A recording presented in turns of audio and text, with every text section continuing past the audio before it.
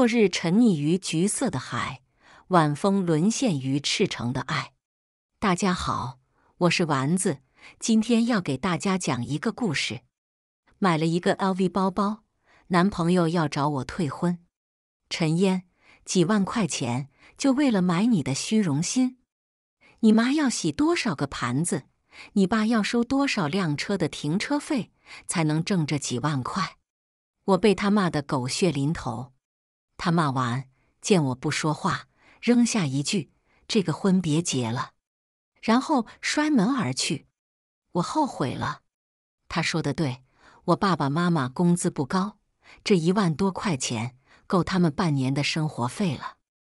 我呆坐在客厅，望着晃动的门，不明白自己怎么就一时鬼迷心窍了。我今年二十七岁，是一名普通的上班族。月工资八千块，五险两金，加上年终奖，一年到手十五万。去年年底，家里人给我介绍了一个相亲对象，他叫杨川，做软件的，为人成熟稳重，适合结婚。双方老人见了两次，我们就敲定了婚事。结婚就得买房，我想买郊区一万多一平方米的房子。他非说金融城五万多一平方米的更具有投资价值。为了和他凑首付，我一直省吃俭节用。在这之前，我一直对奢侈品没概念，连品牌都不知道。直到某天，我背了一个一百多的包去见客户。你这个 LV 是今年的限量款，我都抢不到。你在哪儿买的？啊，淘宝。我被问的有点懵，淘宝，他笑容有些僵硬，但没有当场让我难堪。我去洗手间，蹲在厕所，拿出手机查，发现真的 LV 这款包要三万多，救命！出来谈业务，怎么好意思被假货呀？是啊，我刚才差点笑场。门外的讨论声简直让我面红耳赤，也不知道过了多久。我才敢开门出来，整个手心都是汗。后来我偶然跟杨川提起想买一个 LV 包包，你知道有多贵吗？一个包还不如多买一平方米的房子。别想了。我思考了很久，去店里逛了几十次，都无法下手。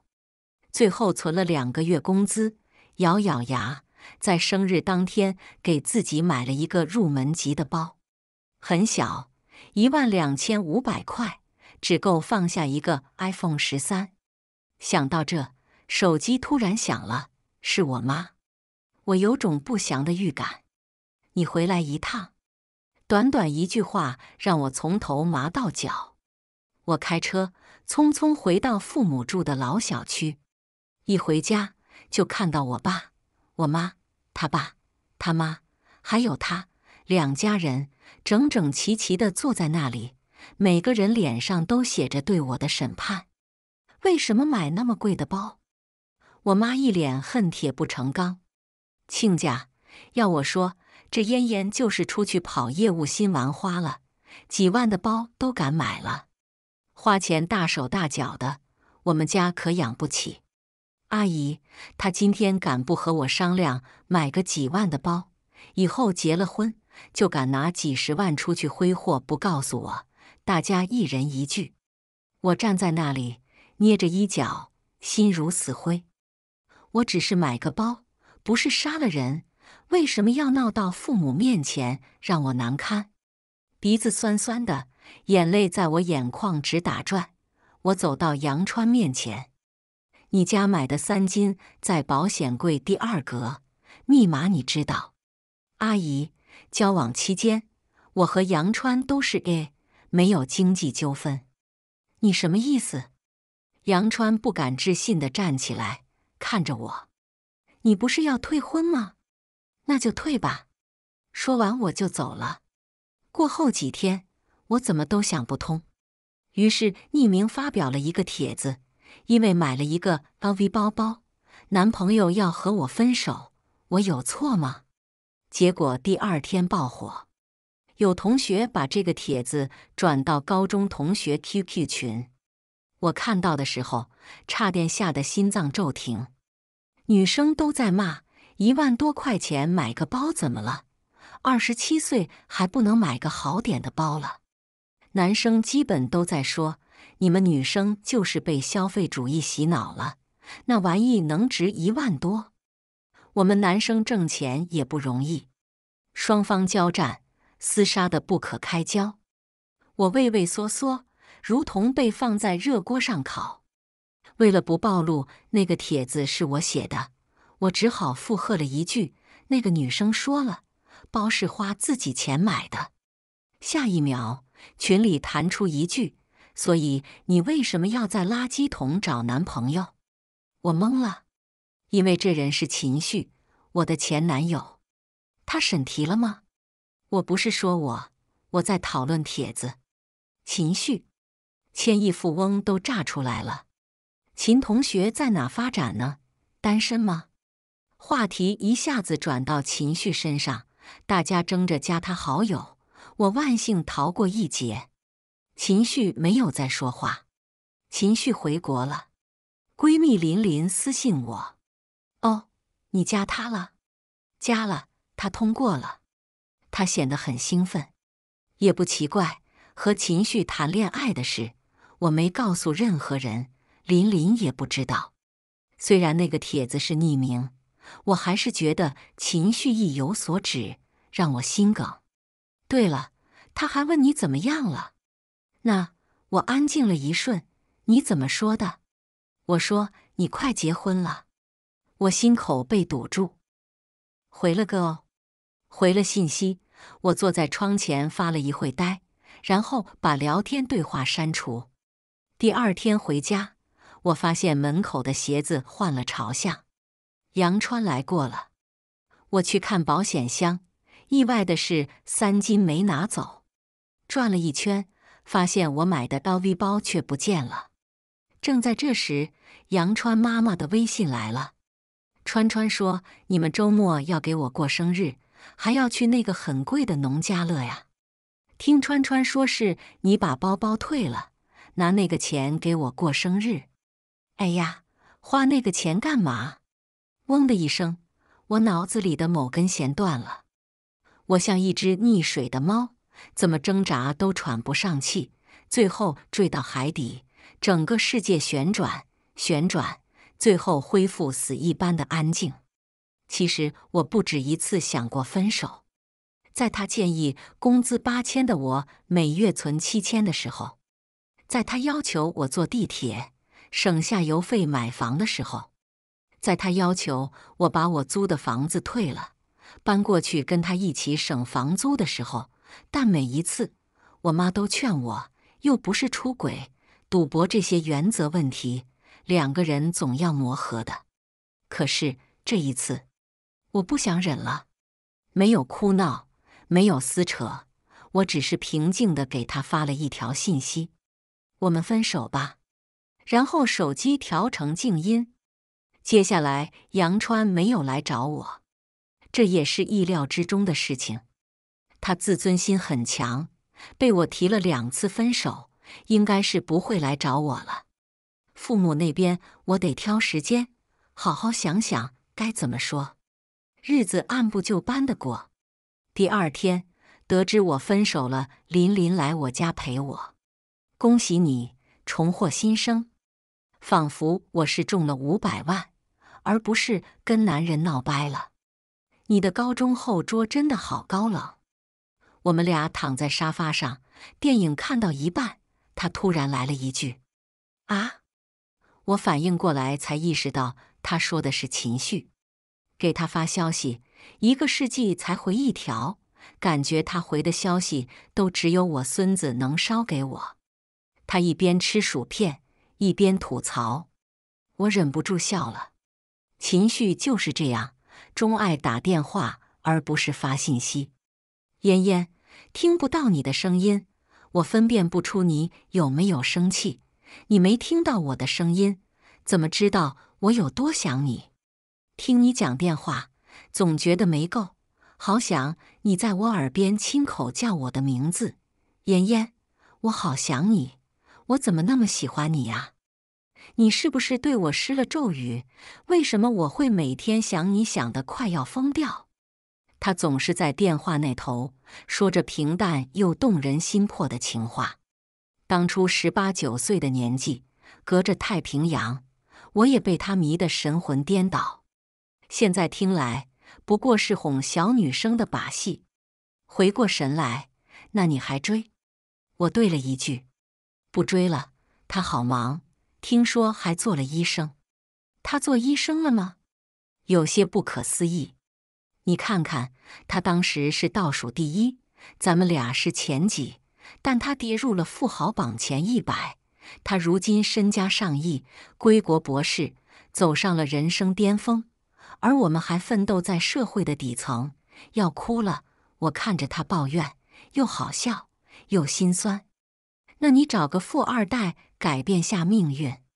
我笑着看他，算了，我也想啊，但他八成有喜欢的人了。你看他的个性签名，遥远的他，这不就是有喜欢的人？哦，我愣了一秒，他有喜欢的人，好像也挺正常的，只是我心里还是忍不住有些酸酸的。我俩继续看电影。看到男女主拉登环节，他突然凑过来，神秘兮兮的问我：“分手是分手了，你没有怀吧？”我额头三根黑线，没有。我顿了一下，我和他根本就没那什么，怎么会？我缓了一口气，不知道，可能是我的问题吧。他跟我接吻，我都抗拒，加上他也不住我这边，经常在公司加班。男人只要是想，就没有找不出时间的。林林狐疑的看了我一眼：“你们做婚前检查没？他不会有什么问题吧？”做了。我想了一下，婚检上两周就做了，我的结果没问题。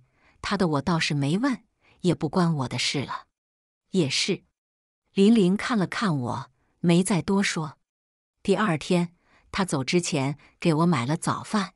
还给我发了信息，乖嫣嫣，婚礼、酒店还有他杨川算个屁，天塌下来姐妹帮你扛着。我摸着温度刚好的牛奶，看到他这条信息，竟然忍不住掉下了眼泪。他大概是唯一个站在我这边支持我分手的人了。第二天中午吃饭的时候，我拿着打包好的三斤。还有一些杨川放在我家的东西，叫了一个同城快递。没到半小时，他来了电话。当时我正在食堂和同事吃饭，一不小心按了免提。你想好了？电话里他依旧是高傲的不可一世的语气。你怎么这么任性，这么分不清好歹？马上要结婚了，你这样闹，对你有什么好处？那你去跟你妈说，被骂哭了，别来我这犯贱。我端着饭，看着同事满是同情的眼神，难堪的满脸通红。慌乱中，我直接掐断了电话。我从来不知道，平时温温柔柔的他，竟然会说这些难听的话。这也让我更加确定，分手是正确的选择。周五下午，我打电话给我爸。我爸没接，我又打给我妈，我妈支支吾吾，最后说在医院，出了什么事？我心底一沉，哎呀，你爸不让我告诉你，还不是老毛病。我火急火燎的赶去医院，我爸有点血栓，前年进医院安过一根心脏支架。我到的时候，我爸还笑呵呵的，像个没事人。没事，我就是痛了一下，吃了药，现在甚至能一口气上八楼。我爸信誓旦旦的就要下床走给我看，你躺着。我有些急，医生怎么说？不是才两年吗？怎么会复发？急诊医生说是天气太热，你爸在太阳底下待太久。我妈眼眶有些湿，我的心被刺痛了。爸，你别干了！我顿了一下，待会我就跟你组长打电话辞职。真不用，爸爸还能干。你不要命了？我没忍住吼了他。你爸不干，你们那几百万的首付，光靠你们俩怎么凑？我妈责备我不该吼我爸。哎，你跟孩子说这些干什么？我爸却又去说我妈。我张了张嘴，一个字没说出来，倒是眼泪先出来了。我背过身去擦了眼泪。房子不买了，为什么？不为什么，不想买了。我固执的坐在病床边，帮我爸削苹果。我不敢在这个时候跟他们说分手了，不结婚了。我怕我爸心脏受不了。想来我真是不孝。本来父母老来得子，三十五岁才有了我。他们退休两年了，两人退休金加起来有一万多。有房子，有医保，这个年龄，我爸该在和小区大爷下棋，我妈该在和小区大妈跳舞，但现在他们俩却还在为了我的首付去干一些又累又苦的活。我突然不明白了，所谓的房子的投资价值，掏空六个人的钱包，意义在哪里？苹果削到一半，杨川来了，看到他，我手一抖。把自己划了一道口子，叔叔，你还好吗？他看起来风尘仆仆，公文包都没来得及放。没事，我爸笑着摆摆手，怎么不早点告诉我？杨川转向我，问我。我一看到他，就觉得水果刀有了他自己的想法。你来干什么？我语气很冷，但碍于我爸的病。不想在他面前闹翻。叔叔生病了，我能不来？他演戏的样子让我有些恶心。他低下头，用只有我和他能听见的声量说：“分手的事以后再说。你不会想把你爸气死吧？”我心里腾起一阵怒意，却又硬生生吞了下去。这个医院我有点关系。请了一个心内科留学回来的博士来给叔叔看一下。阿姨放心。哎呀，这样就太好了。还是你有办法。我妈眼里都是对杨川的满意。我没说话，一切等我爸看完病再说。杨川在我父母面前很会演戏，又是给我爸倒水，又是给他查各种资料，安慰他没多大事，放宽心。看着他们三个那样和谐，我心里堵得慌。晚上的时候，专家过来了，我心情一直很低沉，直到一个熟悉的声音穿破我的耳膜，我一下子抬起头，目光与秦旭撞到一起。时隔八年再次见面，我和他都愣了片刻。怎么会是他？比起我的紧张和惊讶，他倒是很快恢复镇定。在我身上停留一秒，就收了回去，走到了我爸病床前。后来他们说了一大堆，我的脑子嗡嗡的，没听进去。脑子里一直回荡着最后一次跟他打电话说分手的画面。能不能不分？电话那头的他软下来，求着我：“不能。”我态度很坚决：“怕什么？你那些朋友。”个个金发碧眼，身材好，你随便找一个都挺好的。我也可以在这边找一个，咱们好聚好散。陈烟，我惯着你是因为喜欢你，你不能仗着我喜欢你三天两头瞎折腾。我也不是没有脾气，除了你，我秦旭这辈子没忍过任何人。他很生气，我没求着你喜欢我。我抽了抽鼻子，我受够了异地恋。我想有人陪我吃饭、上课、看电影，而不是一团空气。行，我们冷静一下。他沉默着不说话了。那能别拉黑我吗？不能。电话拉黑，微信留着，QQ 也行。不行。陈烟，你他当时有些生气，又有些无奈，非要这么绝情吗？你当真？觉得我非你不可，我怕我男朋友不高兴，我轻轻吐了一句。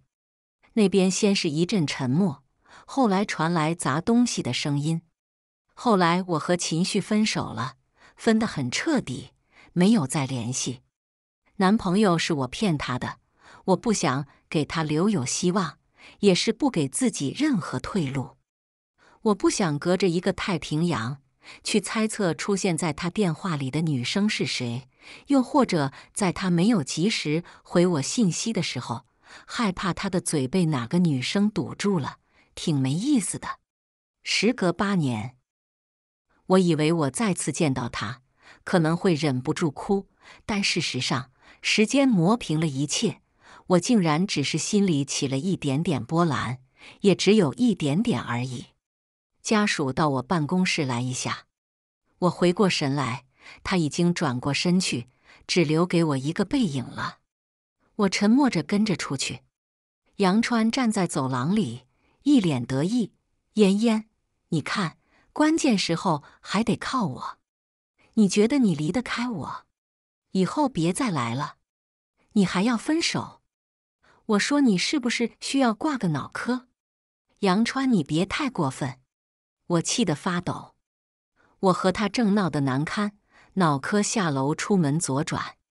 一张阴郁的脸低下头看了看杨川，这位先生，报我名字可以给你看仔细一点。秦旭，医院内静止喧哗。秦旭目光指了指墙上的指示牌。秦医生，杨川看见秦旭表情严肃，又又尴尬。抱歉，我没看见，还不跟我过来。秦旭根本没理他，盯了我一眼。我还有其他病人，我立马闭嘴了，很难堪。一直以为幻想和他分手了就回归现实，找个近在咫尺的男朋友，过上一日三餐、天天腻在一起的甜蜜生活。结果却被他亲眼看到，我的生活和感情都一地鸡毛。我跟着他去了办公室，预料的怀旧情节果然没有出现。秦旭拿着一个心脏模型，专业的跟我分析讲解，表情冷漠。他果然是恨我的，能懂吗？还行。我其实有点紧张。总之，我个人建议你爸爸还是再做一次心脏造影，不能因为只过去两年就忽略潜在的风险。行。我坐在那，准备说点什么缓解尴尬。这时候进来了一个医生小姐姐，她看着我，又看看秦旭，笑得满面春风。还有病人吗？那我先去订饭店，用下你的车。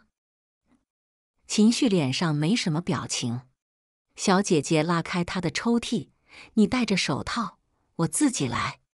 他轻车熟路拿出一串钥匙，扬了扬，还是点那些菜。我知道，你忙你的。不用担心。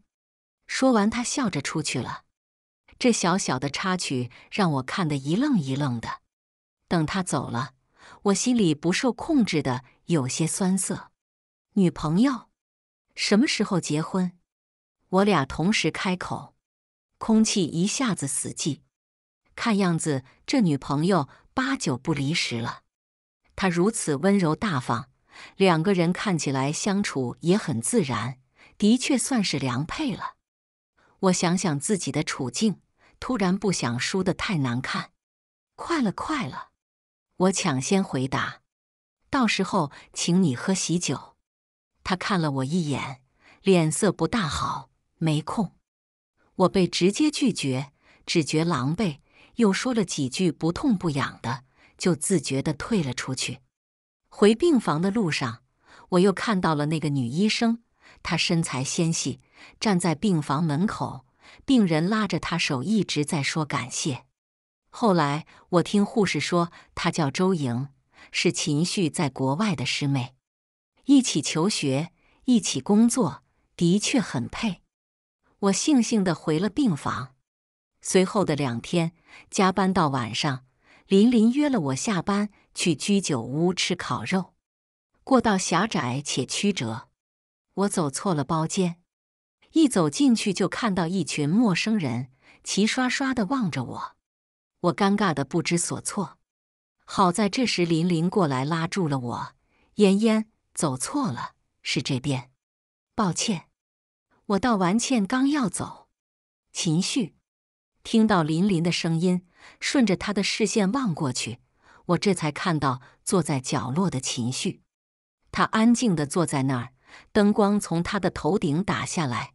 显得五官更为立体，下颚线流畅，只是表情寡淡，含义由内而外。认识的人，一个男同事问：“嗯，高中同学。”林林向来自来熟，大方介绍。他没说话，目光落在我身上。那一起吃呗。同事招呼，大家开始挪座位，十分热情。我和林林不好拒绝，只好挨着坐好。结果就这么稀里糊涂的，我坐到了他旁边。坐下来后，我才看到秦旭另一边坐着周莹医生。他目光在我脸上打量一番，笑着问：“秦旭，这不是你的那个病人家属，也是同学？”他抬头看了我一眼，嗯，就说：“你最近查房怎么这么勤快？”原来是赶着见老同学，大家打趣。周莹虽然在笑，但是笑容却有些难看了。我有些尴尬。我羡慕林林的自来熟，羡慕周莹的圆滑，也羡慕一群人的肆意洒脱。跟他们比起来，我敏感的像个格格不入的怪物。行了，闭嘴。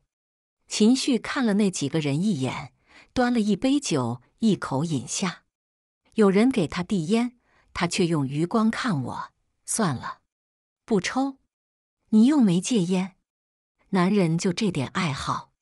同事打趣着他，我的心里抽了一下。大一的时候，我得知他学会了抽烟，很担心，我们俩还因此吵架了。当时年龄小，太过着急，我哭了。他哄了我一晚上。保证以后都不再抽烟了。男人的话果然不可信。我埋头吃菜，没再多看。今晚不想。他声音浅浅的拒绝了。后来大家开始喝酒、吃肉。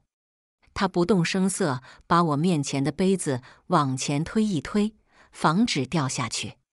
又把别人递过来给我的烤肉串签子横着放。明明他在听别人跟他说话，还是能在别人端汤过来的时候伸手挡一下我的头。他真的很好，礼貌又绅士，只是不再属于我。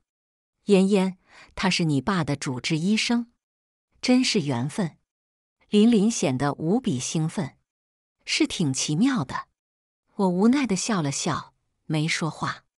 大家都是年轻人，有人提议完。真心话大冒险，轮到我的时候，有人问初恋是什么时候，他手指有意无意的敲打着桌面，在等我的答案。大一，我如实回答。我看到他嘴角有了一丝弧度。和谁？有人又问。我紧张的看着秦旭，为难女生干什么？他扬着头，一副漫不经心的样子。有本事为难我，不出所料，还真轮到他中奖了。秦医生，你的第一次是多少岁？那你得说清楚，是纸上谈兵还是实战？大家都在起哄。他盯着我半天没说答案，无奈笑笑。我喝酒，算是认输。秦医生，你玩不起啊！这种情况，要么是没有。要么是年龄太小不好说，大家又开始笑，我心里咯噔一下。我和他谈恋爱没见过面，更别提其他。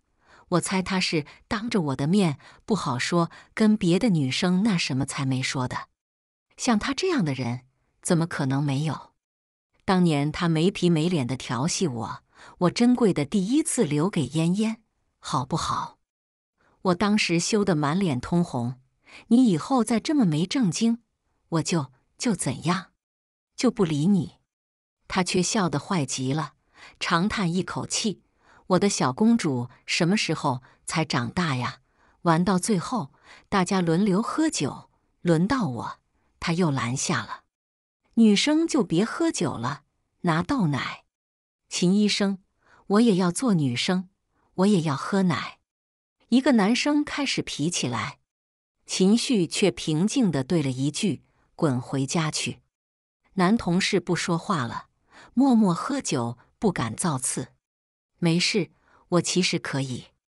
我直接拿过酒一饮而下。我是真的还行，这些年跑业务，哪有不喝酒的？喝完。大家对我刮目相看，称赞我是女中豪杰。他却不可思议地看着我，看上去有些生气。秦医生，你也太护短了吧！同样是女生，平时周医生喝酒也没见你拦着。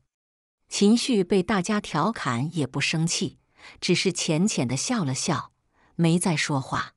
喝到最后，我出去上厕所，一出来。就被人拦住，别喝了。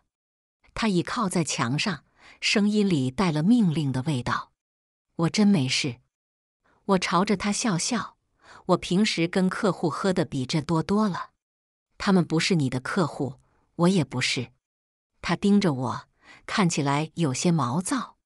谁说的定？万一里面有潜在客户呢？我半开玩笑。他叹了一口气。收起你那一套，没必要在我面前逞能。说完，他转身回了包间。我喝酒关他什么事？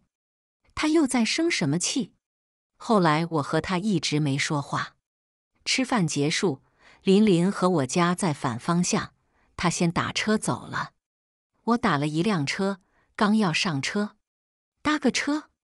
他扶着车门，闲闲地问：“我住北边。”我第一反应是拒绝，因为今晚我跟他的相处并不算愉快，反而称得上很尴尬。而且周莹也在，我不想跟他单独相处。我也住北边，车费贵，没必要浪费。他说的有理有据。我，秦医生，你说车费贵，你爹同意吗？想送别人回家就直说呀。一群人又在起哄。我看着周莹在旁边，笑容已经要垮掉了。我不明白这群人怎么这么没眼力见，总开我和秦旭的玩笑。可是秦旭这人也奇怪，半推半就，我不知道如何是好。最后我拉开车门，坐了副驾驶。秦旭笑了笑，没多说，拉开了后座的车门。离谱的是，周莹也坐了进来。于是，一路上车厢只有周莹不停的和秦旭说话，他偶尔回答一下，而我当一个安静的哑巴，一直低头玩手机。林林发来微信：“秦旭是不是对你有意思啊？”看到微信，我眉心跳了一下，通过后视镜看了秦旭一眼，却被逮了个正着，吓得我赶紧收回目光，假装玩手机。林林还在给我发秦旭喜欢我的证据，我吓得够呛，心跳也开始加快。后来送走了周莹，秦旭还没下车，我更紧张了。好不容易熬到我家小区门口，我正要下车，他望了一眼我家的方向，随口一问：“他不来接你，闹矛盾了？”我心里一沉，算是。我敷衍说了一句。闹矛盾就这么晚都不出来接你，他没好气地说了一句：“就对我一个人高要求是吧？”我不知道怎么回答，干脆不回答，下了车。结果一下车就看到了杨川，我心脏都紧了一下，下意识去看秦旭的方向，车窗摇起，沿着公路开走了。还好，还好。杨川提着公文包站在公交站牌下，死死地盯着我。车里是谁？这是他说的第一句。我觉得有些无厘头，懒得理他。这就是你死活要跟我分手的原因？他直接把包砸向我。我没料到他行为这么过激，根本没来得及躲。包的金属器件砸到我头上，我瞬间有些站不稳，跌坐在公交站的等候椅子上。你疯了！我气得脑子嗡嗡的。我是疯了，因为你要分手。我还冷静了几天，找自己的原因，怎么都想不通你为什么跟我分手。结果呢？你这是找到下家了，一脚把我踢开。他是我同学，人家有女朋友了。我们吃饭遇到就搭个便车，你简直不可理喻！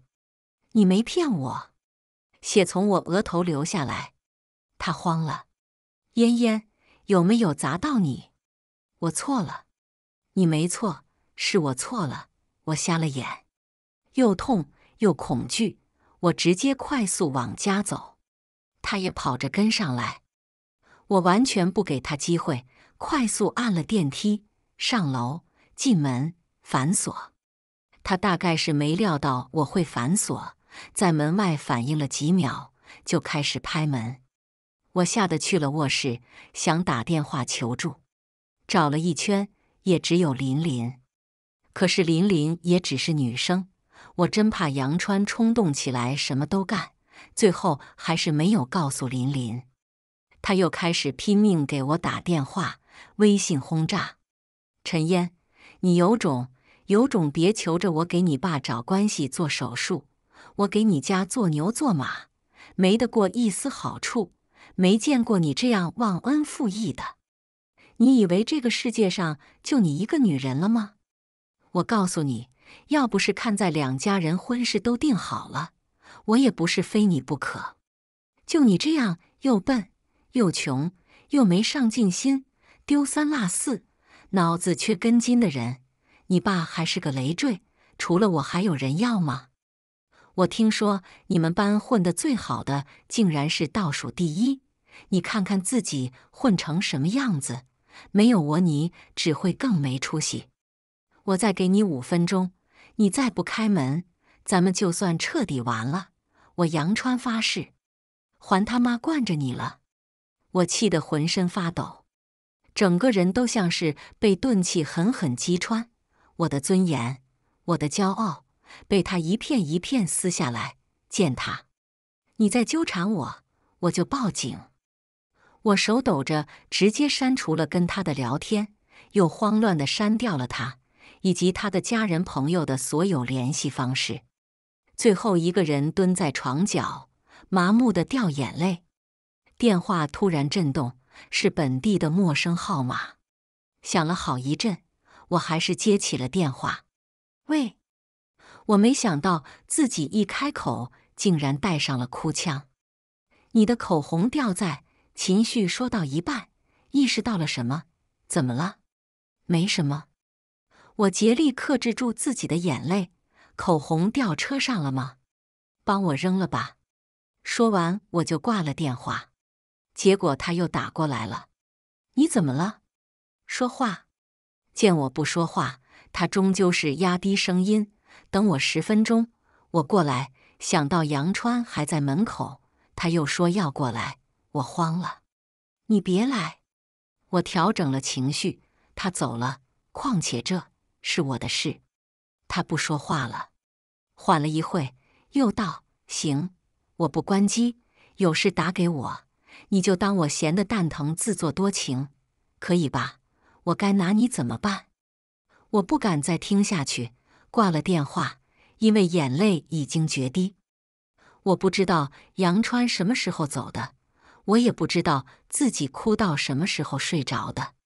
第二天早上，我是被我妈电话吵醒的，就像是经历了一场噩梦，头晕、恶心，浑身没力气。我妈说，爸昨晚又心口痛了一次，手术提前到今天早上十点。我来不及悲伤，用粉底遮了遮红肿的眼，怎么都遮不住。顾不了那么多，我火急火燎的换了衣服，一打开门，差点被绊倒。杨川，他整个人瘫坐在地上，头发油得发亮，脸上也是一片青黑色。眼袋都快掉到下巴，整个人看上去颓废又愤恨。他在这里坐了一夜，我很震惊，但更多的是恶心和恐惧。嫣嫣，我没说话，甚至没给他一个正脸。关上门，就这么从他身边绕开，直直奔向电梯。但是在电梯关上的最后一刻，他还是用手挡开，进来了。昨晚是我一时冲动，因为你不开门，也不接电话，我都快疯了。他深吸一口气，发的那些话使我丧失了理智。呵，我突然很想笑。没经过我同意退了我的包，也是丧失理智。你拿着退的钱给你妈过生日的时候，看起来倒是智力超群啊！你到底要怎样才肯原谅我？我给你跪下行不行？说完，他直接在电梯跪下了，还抱着我的腿不放。我简直忍无可忍。手机给我一下。我忍着怒意，平静的开口。嫣嫣，你要原谅我了吗？他开心的把手机递给我，我拿过手机，直接拨通了他妈妈的视频。嫣嫣呐，杨川呢？大早上的你们俩怎么就在一起？可别耽误他早上上班了。他妈对着我一顿数落，我直接将摄像镜头对准了跪着的杨川。阿姨，麻烦你管好你的好儿子，他再来纠缠我。我就把他送到牢里去。杨川，你跪着干什么？你给我起来！你要气死妈妈！手机里传来他妈妈的嘶吼。妈！杨川吓得大惊失色。我把手机扔给他，头也不回的走了。拉开车门，我一脚油门，车子飙出去了。我赶到医院时，手术已经开始了。怎么戴着口罩？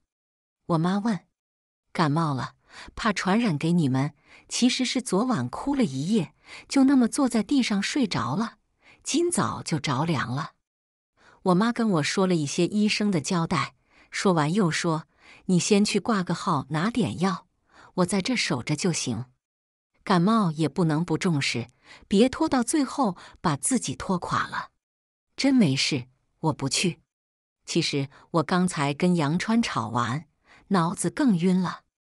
我和我妈聊到中途，她突然收到一条微信，我有种莫名的预感。看到我妈变了的脸色，我的心一下子沉下去。你和杨川怎么回事？我就知道杨川那个人有一千万种让我屈服的方式，利用我父母这一种，他百试不爽。分了，我也豁出去了。知道了也好。免得我憋在心里那么痛苦。分了，我妈难以置信的看着我。好好的婚事说退就退，你当婚姻是儿戏，就是因为没有把婚姻当儿戏，才要分。我深吸一口气，嫁给他我不会过得好，我会死。我妈打量了我一番，气得整个人都不好了。刚想开口骂我，家属进来一下。一道声音打断了我们俩，我一抬头就碰到秦旭的目光。他站在门口，也不知道站了多久，又被他听到了。让他看到我这么失败的恋爱，我真想找个地缝钻进去。我站起来，和我妈一起去了手术室旁边的观察室，看心脏造影图，听医生分析，签字，一套流程下来。我整个人都飘在空中，医生，谢谢你们，我们家老头子就靠你们了。我妈拉着秦旭感谢，他却担忧的看着我，眼里闪过一丝情绪。放心，这是我们做医生的职责。我和我妈还要出去等一会儿。前一秒还跟医生说着感谢的他，一转身就朝着我来了一句：“分手的事，我不同意。”我心里一沉，因为我看到秦旭来关门，又听到了，在他面前我又低了一截。你不同意，那你去跟他过吧。这是我生平第一次反抗我妈。我妈张了张口，气得不轻。陈烟，你怎么说得出这种话？大概是我从未对我妈说过重话，她竟然转过身去哭了。她一哭我就慌了，我只好过去蹲着给她擦眼泪。你从没吼过我，我妈委屈到不行。我没吼你，我真是欲哭无泪。他还是原来那个样子，跟我闹矛盾，自己反而急得先哭了。我叹了一口气，我好好跟你说话，是你不听。以前我们不是这样的呀，我们像朋友，一起逛街，一起试衣服，我有什么都跟你说。可是我现在说什么你都不听了，这是能跟那些事比吗？这是你的终身大事。我妈擦了眼泪，别开脸，依旧不理我。如果你和我爸生活在一起，天天都不开心，你还会跟他在一起吗？我问他。其实，别看我妈现在总是很凶、独断专行的样子，那都是被我爸惯得。我爸对她可是百依百顺。杨川哪点不好了？工资稳定，人踏实，对我们也好，你怎么就接受不了？因为三观不合。我不懂你们年轻人什么三观。我妈依旧很气。你别跟你爸说，酒店也定了。婚庆也定了，亲戚朋友都请了，你让我跟他们怎么交代？你爸知道了得被气死。我闷着不说话。他说的这些，就是我犹豫纠结的地方。但是我一天都不想这样过下去了。等我爸好了再说。你，我妈拿我也没办法，就一个劲生闷气。手术很顺利，术后秦旭来查房。恢复的不错，心率、血氧都正常，可以正常饮食，别吃太刺激的就行。也可以正常下床活动，不做激烈运动。秦医生，您可真是大好人，这么细心。我妈赞不绝口。这是我的职责。秦旭说完，刚要走，转头看了我一眼，眉头一拧：“怎么了？”他开口问我。不舒服，他从进病房开始就没拿正眼看过我，我以为他是不想跟我有任何交集的，怎么会突然注意到我？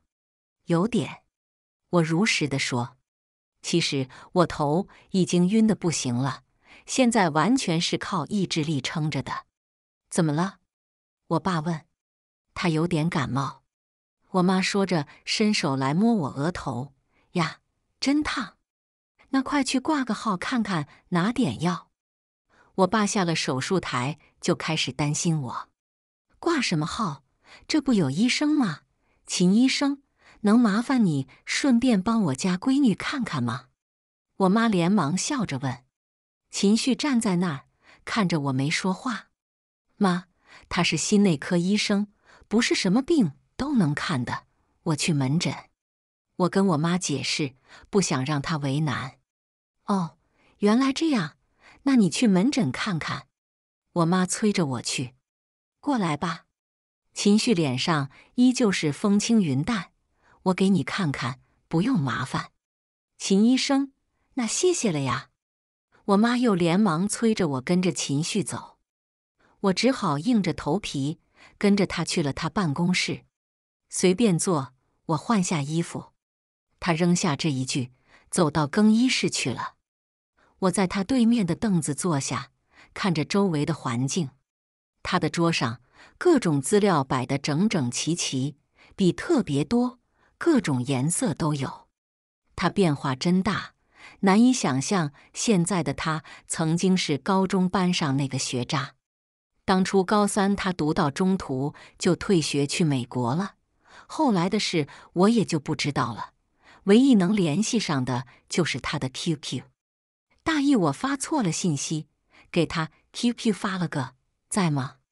发现的时候已经撤不回了，猜测他应该不用 QQ 了，我也没管了。结果他隔了半个月回复了我，有事。我当时也没怎么登录 QQ，没看到。隔了一天，他又问哑巴了。接下来的几天，他又发过来几条信息，是死是活，你倒是说个话，逗着我好玩。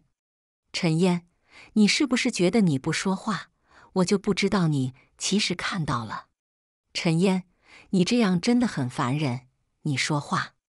等我一个月后登录，发现他竟然断断续续给我发了一个月的信息，而最后一条是：你信不信？我周末就飞回来逮你。我看到后吓了一跳，怀着忐忑的心情给他解释：“对不起，我一个月没用 QQ 了，之前那条消息是发错了。”没隔几秒，就看见他那边显示正在输入，持续了大概一分钟，他终于发过来消息：“哦，就一个字，输入了一分钟。”后来我们在 QQ 上聊了一晚上，他话很少，基本都是我在说。刚到大学，一切都不太熟悉，我觉得一个人孤单极了。但是跟他仿佛总有说不完的话，他也好像总是很闲，闲到听我说军训里面屁大点的小事，一听就是一晚上。每次告诉他我去洗澡了，他都回个哦。直到有一天，我告诉他我去洗澡了，他发了一句：“等你洗完。”我，你还有什么事吗？想和你聊不可以？可是很晚了，你找别人聊吧。我找谁？其他同学呀，你的朋友啊。你天天听我一个人说话不烦吗？陈烟，你是笨还是装傻？什么意思？天天睡懒觉的我。每天六点起床，就是为了陪你聊天，哄了一个月，风雨无阻。你说我什么意思？我当时看到那个“哄”字，心毫无防备的狂跳起来。不是没有感觉到，只是太过年轻，不敢捅破那一层纸，朦朦胧胧的心动让人心慌。我不好意思回他，怀着剧烈的心跳去洗澡。结果洗完澡还是心跳的厉害。我窝在被窝里，看到他发来的信息：“给你一晚上的考虑时间，明天这个时候告诉我答案，别吊着我。”于是，我一晚上都睡不着了。第二天晚上，我想我已经想得足够清楚，鼓起勇气给他发信息：“那你现在问我吧，做我女朋友，我的小公主。”好。正在我想得出神，窗口吹来一阵狂风，更衣室的门被吹开了。我听到声音，条件反射去看，四目相对的瞬间，我看到他上半身光着，眼睛真不知道往哪放了。帮我关下门。他清冷的嗓音传来。我踉跄站起来，行。走了几步，到更衣室门口，刚要关上门。但我本来就头晕，起来得太猛，直接有些站不住。我想扶一下门框，却摸到了一双有温度的手。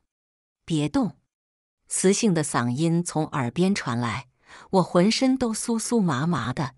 别乱抓，第一反应就是缩回手，却被他反握住。身体怎么这么差？平时还贫血？有点。他把我扶回座位。自己穿好衣服，走向办公室门口，关上了门。啊，原来风把办公室那道门也吹开了。他让我关的是那道门啊。囧，他又回来，安静的坐在办公桌前，把一支体温计递给我，先测下体温。我侧过身，把体温计放进去，口罩取下，我看看。他拿着电筒，让我仰着头看了看我咽喉部位，三十八点五度，低烧。他看了看温度计，拿出听诊器，可能需要把衣服撩起来。我一整个尬住。如果换做别的医生，我肯定直接聊起来了。可是毕竟他是我的前男友，我真的很为难。和他谈了两个月，除了开过视频。我们其实连面都没见上过，更别说其他。隔着衣服不行。我小声问他：“陈烟，我是医生，他一脸严肃地看着我，我不吃人。我明白了，他是在说我怀疑他的职业操守。我只好咬咬牙，撩起衣服。因为是春天，我顶多也就穿了一件毛衣，里面只有薄薄的一层棉质 T 恤。当他拿着听诊器伸进来的时候，我浑身都起了一层鸡皮疙瘩。他是医生没错，但他毕竟也是我喜欢过的人。曾经我们也在电话里也没皮没脸的说过一些让人脸红心跳的话。嫣嫣，多吃点，还能再尝尝。听说女孩子都香香的，软软的，抱起来一定很舒服。一般人我肯定能忍住，但如果是你，很难说。我有罪，脑子里面怎么会想起这些？我把脸侧到另一边，不敢看他，更怕他听到我加快的心跳。他认真的听了一分多钟，有点炎症。他取下听诊器，比起我的局促。他显得尤为淡定。我给你开点药，你去药店买。哦，好。我此刻真是庆幸，我的脸因为发烧烧红了，他才看不出区别。要不然真的是丢脸死了。他把药写在一张纸上，递给我。谢谢。那我先出去了。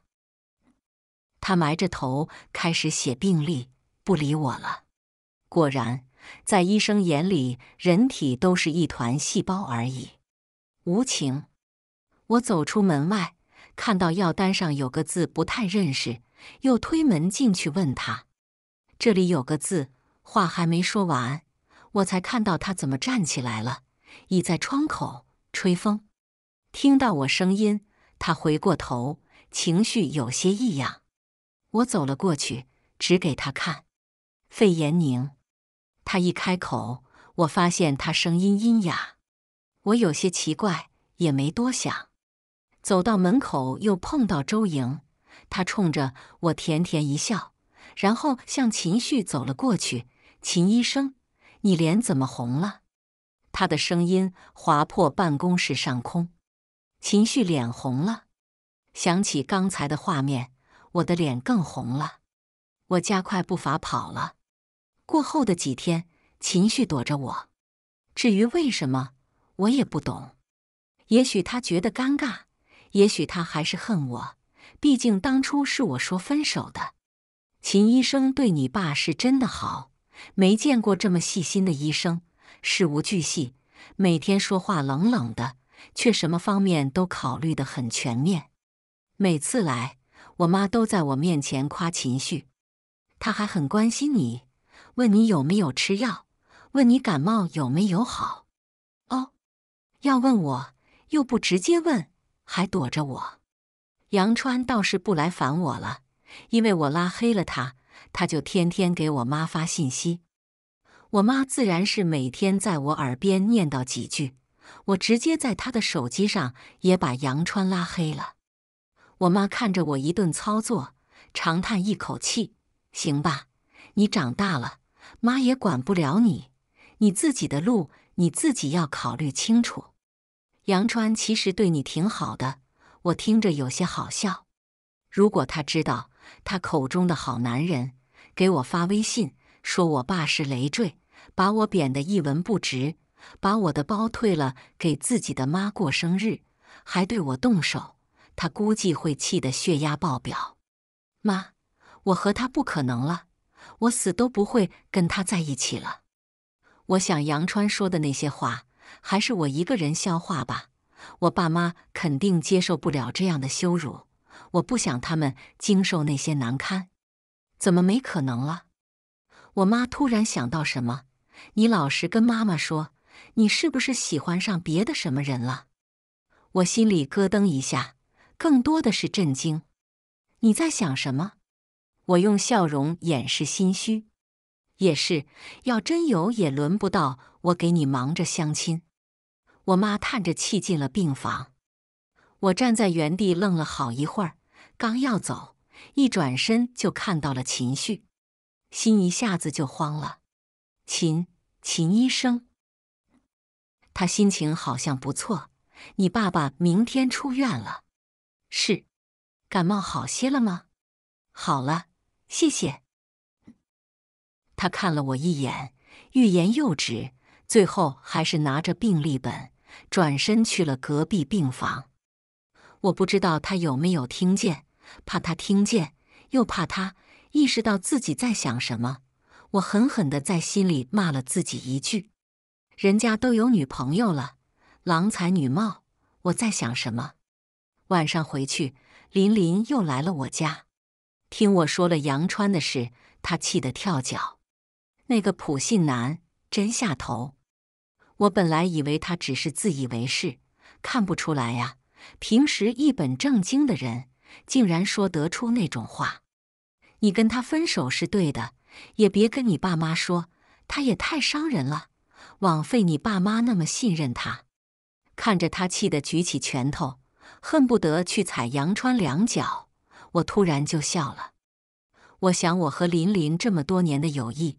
大概就是因为我们俩性格互补吧。我明明那样的讨厌杨川，可是恶毒的话、骂人的话，我还是说不出口。每次吵架，明明自己在理，却被对方骂得掉眼泪。我最近，他神秘兮兮的凑到我耳边：“有男朋友了。”我心突然跳了一下。谁呀？高中的班长。他说完，捂着脸。笑得张狂，班长，我回忆了一下，是那个戴着眼镜，每次午休也不休息，一直做题的那个。秦旭介绍的。林林笑着说：“啊！”我更震惊了。前一阵林林不是还说要追秦旭来着？怎么还？他挺木讷的，逗一下就脸红。我本来不喜欢冷面男的。可是他的样子可爱又禁欲，爱死了。他一脸幸福的样子，我真难以想象，反差这么大的两个人怎么会走到一起？那你可别欺负人家，怎么可能欺负他？我们俩一边聊一边笑。晚上他跟我一起睡。嫣嫣，你觉得秦旭怎么样？他突然问我，什么怎么样？也不知道是不是错觉，我总觉得他有点喜欢你，就像那天我们吃烤肉遇上他，小心翼翼护着你，眼睛不瞎的都看得出来。我心里咯噔一下，你知道吗？那一阵我加了他的微信，他很少跟我聊，聊的最多的还是你。起初我以为他对我感兴趣呢，这么关心我的闺蜜。后来我发现，只要不聊你，我和他就没聊得了。我沉默几秒，叹了一口气：“林林，他不会喜欢我了。”什么叫不会喜欢了？说的好像你们谈过。嗯，谈过。什么？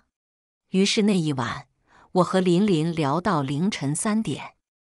我把我和秦旭那段网恋一五一十的告诉了他。嫣嫣。你好狠的心，竟然都不跟我说。那前一阵我说要去追他，你也不阻止。我和他早就过去了，分手我提的。他讨厌我，而且他那个师妹多半是他的女朋友，所以他在医院都躲着我。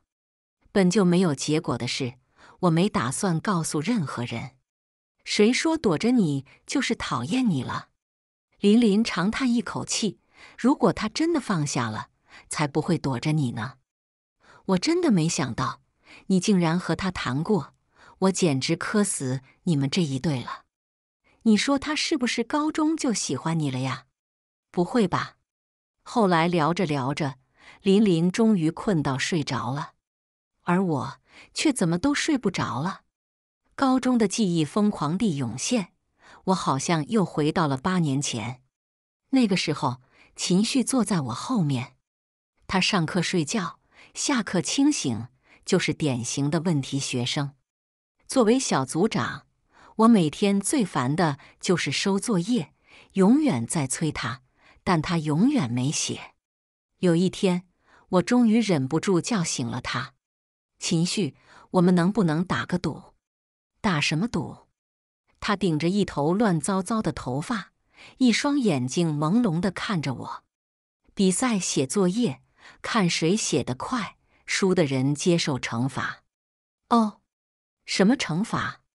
他一张脸笑得又坏又张扬。就惩罚一瓶旺仔好了。我没了底气。行啊。我没料到他答应的如此爽快，心想这个不交作业的问题总算是解决了。然而，写完了吗？在我埋头写作业的时候，他戳了戳我的背，问我：“写完了？”我把本子给他看。哦，我又输了。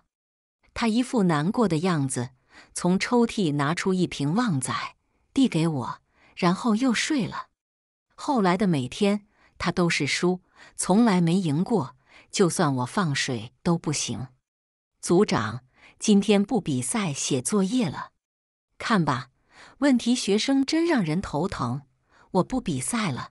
他还提醒我，算了，待会你生活费都输完了。是啊，他指了指自己抽屉，都换这个了。我朝那儿看了一眼，好家伙，一本书都没有。装了一抽屉旺仔，他没救了。再后来，我迷迷糊糊的睡着了。我做了一个梦，梦里面我回到了高中那年，他穿着校服站在教室门口，借着晨光朝着我笑，而我身上穿着的却是工作服。他说：“我的小公主，你过得好吗？”醒来的时候，我发现枕头湿了。第二天。我接我爸出院，分手的事，我想着等他身体好一点，再慢慢告诉他。秦旭最后一次来查房，又是事无巨细的嘱咐了一大段。我妈听完，拉着他的手感谢秦医生：“你真的是我见过最细心的医生了。听说你还是单身，也不知道哪个姑娘修了几辈子的福气，能嫁给你。”我一听。直接呆住了，人家有女朋友了，阿姨过奖了，他脸上没什么表情。说真的，秦医生，我大表姐家的堂弟的女儿也是学医的，挺可人一小姑娘。我妈真是离谱，我坐在旁边都替她尴尬。妈，人家，我压低声音戳了戳我妈胳膊，有女朋友了，啊？我妈表情尴尬，结果她直接盯着我，一本正经的摇了摇头：“没有，没有。”我有点感觉被打脸了。秦医生，能加你微信吗？我妈笑着问，怕我家老头回到家哪里不舒服，可以及时问问你。秦旭看着我不说话，我看得出他的为难。妈。我给你手机记了秦医生办公室的电话，你打电话就行。我赶紧说：“这样啊，我还想着你们年轻人习惯用微信，让你加一下秦医生。你爸有什么问题就问他，既然不方便，那可以。”他突然来了一句，然后从白大褂里摸出手机，调出二维码。秦医生，你真是大好人。我妈喜出望外，催着我快加上。我直接傻了。可是她手机都拿出来了，我不加好像也说不过去。我只好硬着头皮加上了。她的微信头像是一个趴着睡觉的卡通女孩。我第一反应是这是个情侣头像吧？看来她和周莹只是暧昧，还没确定关系。心情一波三折。我心里酸酸的，闷着不说话了。嫣嫣，这两天怎么没看见杨川？我爸突然问。我妈欲言又止，最后看向我。他，我的心都快提到嗓子眼了。他忙。嗯，年轻人忙事业是对的。我爸语重心长地说。我不接话了。出院单签好就可以出院了。秦旭收回手机，波澜不惊的脸上难得有了情绪。好，我静静的看向他，他却看都没看我一眼，转身走了。怎么突然就生气了？我爸自己下床整理东西，他又一副生龙活虎的样子，说自己这身子还能干。嫣嫣，你放心，爸爸自己的身体自己知道，知道就好。我放什么心？腿长在他自己身上，他要是出了院偷偷去工作，我也不知道。思来想去，我还是去找了秦旭，在他办公室门口转了好几圈，也不知道待会该如何开口。找我有事？一个冷冷的声音从头顶飘下来，是秦旭。嗯，有点。我一抬头就看到他穿着白大褂。后面还跟着一群实习医生，能耽误你一点时间吗？秦老师，三百零六的病人，你不是要给我们讲课吗？实习生脱口而出。他盯了我一眼，转身对那些学生道：“你们先去看看，我一会儿过去。”哦，一群实习生一副你懂我懂大家懂的表情。每一个从我身边走过的人都好奇的在我身上打量，我有些不自在，还不快去想抄病历分析？秦旭严肃的说了一句，实习生加快步伐，一溜烟跑了。难得见他这么凶，看来他今天真的心情不佳。进来吧，他开了门，自己率先进去了。好，我跟着进去。把门锁一下，啊，好，我又返回去锁门。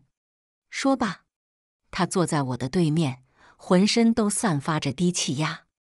我想请你帮个忙。他没说话，只是好整以暇的看着我。你能不能跟我爸说严重点，说他不能工作，不能干重活之类的？我不想他工作了，但他很固执。你是医生，你说的话。他应该会听，我也不是让你说谎，我就是不想让我爸工作了。我跟他解释，你也知道我是医生。他脸上阴晴不定，你凭什么觉得我会为了你开先例？我的心沉了一下，气氛有些尴尬，我有点想走了，但是想到我爸的身体，我还是硬着头皮继续说了下去。秦旭。我顿了一下，念在我们老同学一场的份上，你能不能帮帮我？老同学，他冷着笑了一下。还有呢？还有呢？我心都提到了嗓子眼。我以为他忘了，结果他还记得，而且记仇。念在，我们也算短暂的交往过，你能不能？我艰难的说出这些话，整个人像被架在火上烤。原来你还记得呀？不是都忘了？他冷笑着打断我，感觉他有些不好惹，也不愿意帮忙。我想我还是走了好了。结果可以，他冷淡的吐出两个字：“又可以了。”那谢谢了。这人还真是翻脸比翻书还快。他低下头写病历，字迹潦草，看得出来有些心烦意乱。他不理我，我也站起来就要走。你刚才叫我什么？身后传来他的声音。我一愣，转过身。秦旭。他抬眼望了我一下，眼里有些情绪。八年没听过了，在电话里听过无数次，第一次被你当面叫名字。他叹了一口气，也不过如此。我站在原地不动了。因为我看到他眼睛红了，我被他的情绪刺痛了，想都没想，拉开门就想逃走。后来我爸听从医生的建议辞职了，我妈也在我的劝说下辞职了，因为我爸需要人照顾。公司有了重大的人事变动，领导调我去隔壁市做业务，奖金会更高，加上餐补、车补、住宿补助。总的来说，工资翻倍。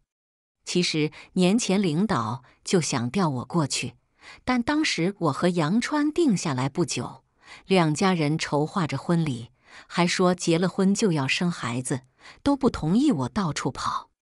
女孩子要的就是安稳，到处跑业务是男人的事。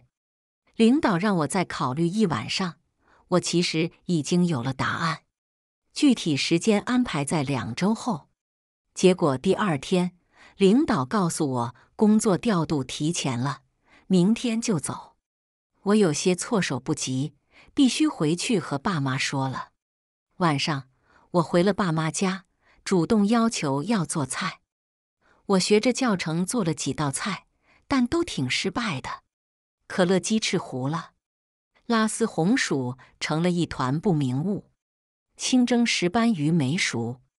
可是我爸却吃得津津有味。烟烟长大了，会下厨了。我爸把糊了的鸡翅吃了，还一个劲说就喜欢这种有点焦的味道，是家有闺女初成长的味道。我看见他脸上的笑容，鼻子一酸，工作的事怎么都说不出口。那我以后经常给你做。我给他加了一个没糊的鸡翅。女儿终究要嫁人的，你爸是享受不到了。我妈笑着开玩笑。那我不嫁人，陪你们一辈子不就好了？说什么胡话呢？我妈盯了我一眼。我爸显然是看出了什么端倪，缓缓放下了筷子，说吧，怎么了？我心里咯噔一下。我和杨川分手了一个半月了，公司安排我去隔壁市工作。我安静的看着我爸，明天就走。我爸什么都没说，只是看着我。他父母也知道，婚不结了，酒店退了，婚庆退了，定金应该是拿不回了。我如实交代。他浑身散发着低气压。从你小时候开始。我们一直都是你要什么就给你什么，选大学、选专业，最后选工作，什么都依着你。我们是不是把你惯坏了？你现在退婚这么大的事都不跟父母商量了。我住院的时候，你们是不是就分手了？难怪他后面没来了，还瞒着我不告诉我。你眼里还有没有我这个爸爸？他气得隐忍地拍了一下桌子。我吓得倒吸一口气，我妈看看我爸，又看看我，一脸无奈，气氛一时间很尴尬，很让人窒息。我看着我爸，因为生气满脸通红，估计是心脏又不舒服了，额头上都冒出了细汗。我心里很着急，爸，你别生气，你心脏不好，我能不生气？他一定对我失望极了。想想就好心酸，我的眼泪忍不住掉了下来。爸，我就一定要结婚吗？我问他。你说的什么话？我仰着头，倔强的不让眼泪掉下来。我一定要买房、生小孩，掏光家人所有积蓄，把自己所有时间都搭进去。赌赢了，也只能算是忙碌一辈子换得一个家庭圆满；赌输了。说不定还得离婚，孩子都不一定跟我，后半生可能都会在悔恨憎恨中度过。我本来觉得自己工作了，能养活自己，也能赡养你们，正好你们也退休了，我们周末还能出去旅游，我也能多抽时间陪着你们。可是你们非要让我结婚，我没日没夜，不敢有丝毫懈怠，加班挣钱。看他脸色，看他妈妈脸色，我就连买一个自己喜欢的东西，都要经过一家人都同意。我真的每天都在想，我努力工作，努力活着，到底是为了什么？可是每天我还没想明白，又得被卷入地铁、公交站、红绿灯，仓促的一天又一天，就像一只骡子，眼睛蒙上，看不见未来。只是被男人描绘的美好蓝图诱惑着，不知疲惫的转圈。所以我不明白，我必须结婚，到底是为了获得所谓的幸福，还是只是为了赌上悠悠众口，为了不让别人说看她这么大年纪了还没嫁出去，一定有问题？就这样，我还是一定要结婚吗？我妈听完我说的话，惊得脸色骤变。我爸却始终盯着我，面色凝重。过了良久，他终于叹了一口气，站起身：“爸爸要你结婚，不是为了任何人。”他叹了一口气：“是爸爸妈妈没办法陪你一辈子。”说完，他拖着身子，迈着步子，慢慢往房间走了。我妈急忙上去，在抽屉找了药给我爸拿进去。我愣在那里，不知所措。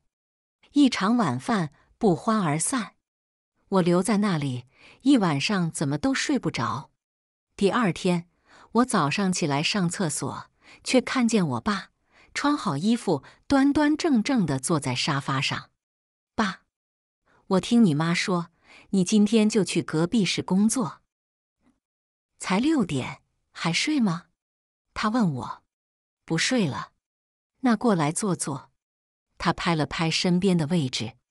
我忐忑的过去坐下，等待他训话，但是并没有。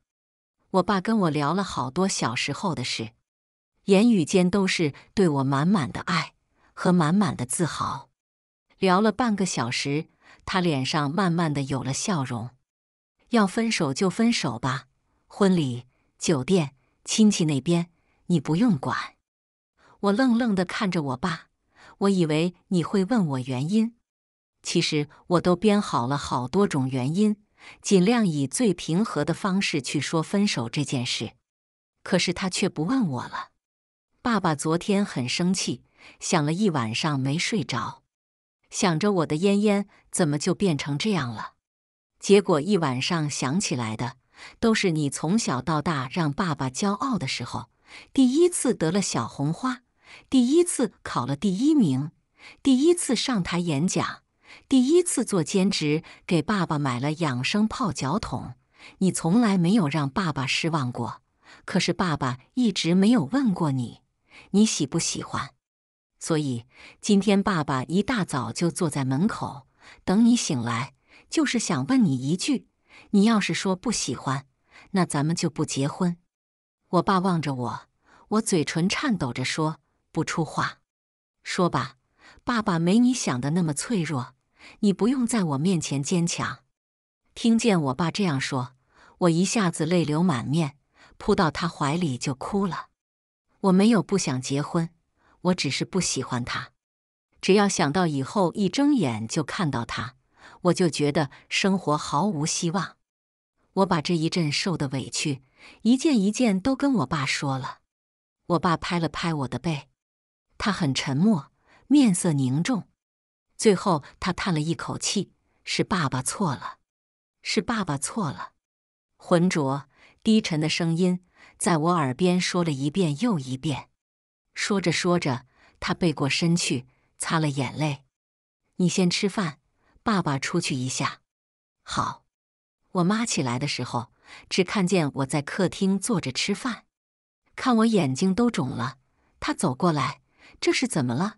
又和你爸吵架了？没有，没有。你爸去哪里了？我妈匆匆忙忙换上鞋子，出门找我爸去了。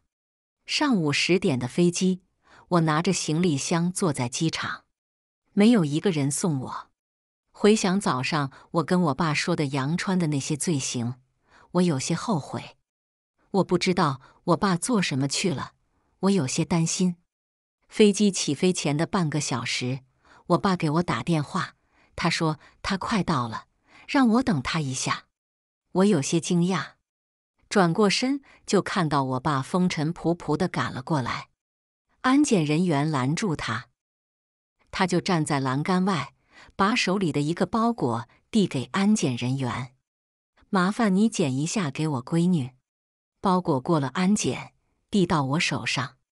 我打开是一只包，LV 的，看看喜欢吗？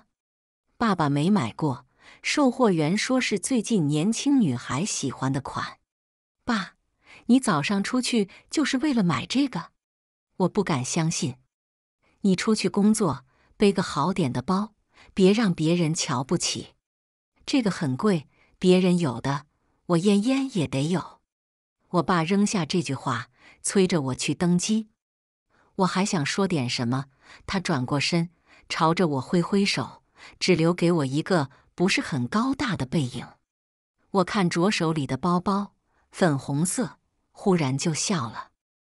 我爸还是把我当成小公主，买粉红色。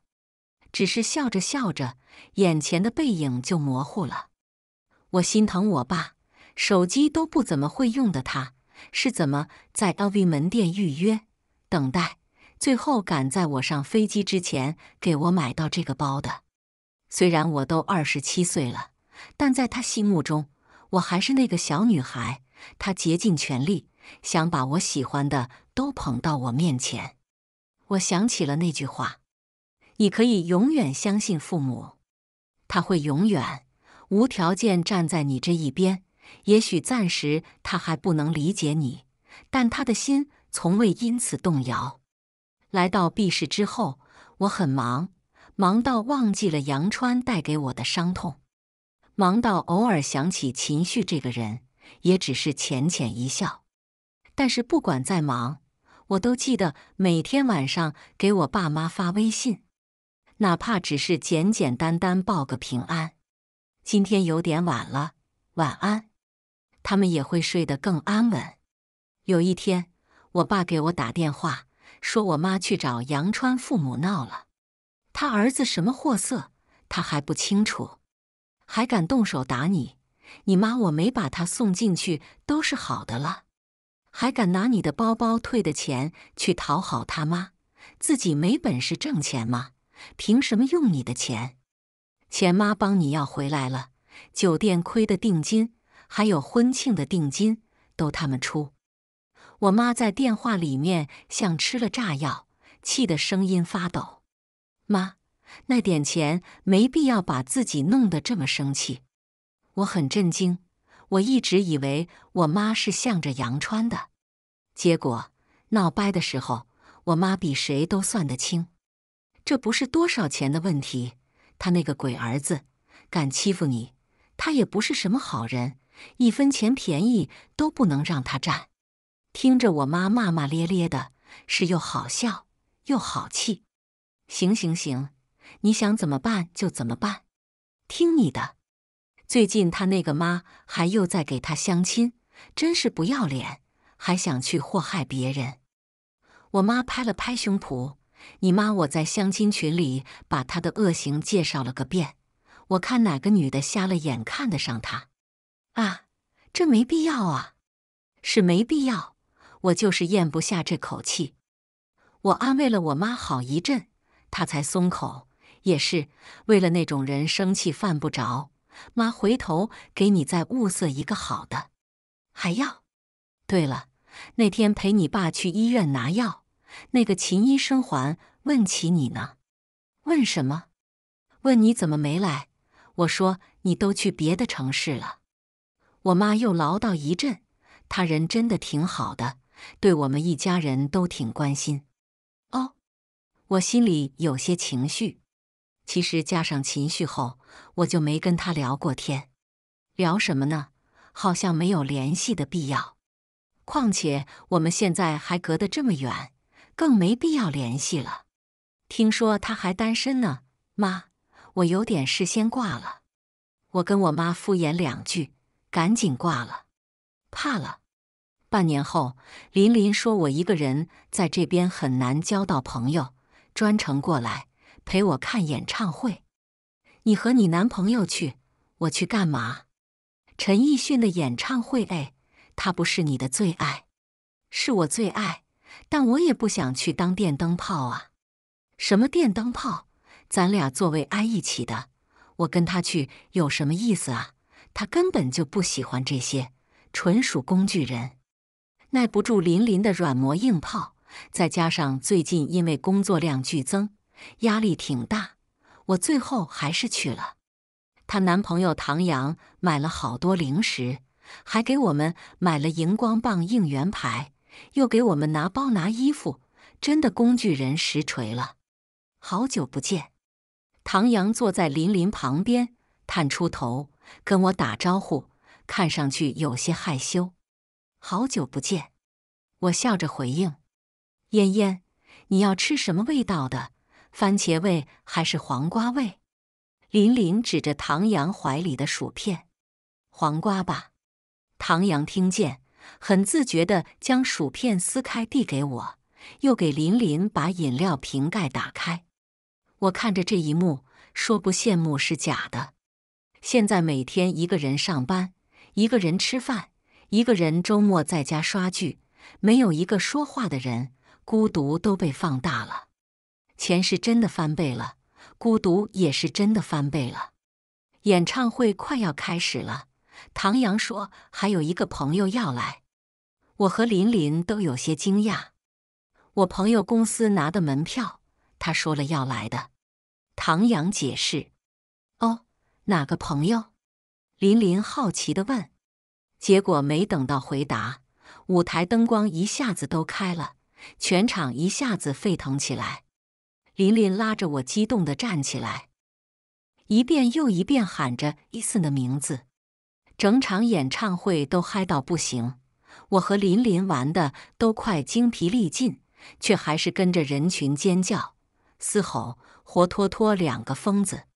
相比而言，唐阳正襟危坐地抱着零食看着我俩，一副地铁老人看手机的模样。你轻点，嗓子哑了。他扶了扶眼睛，略带担忧地看着琳琳。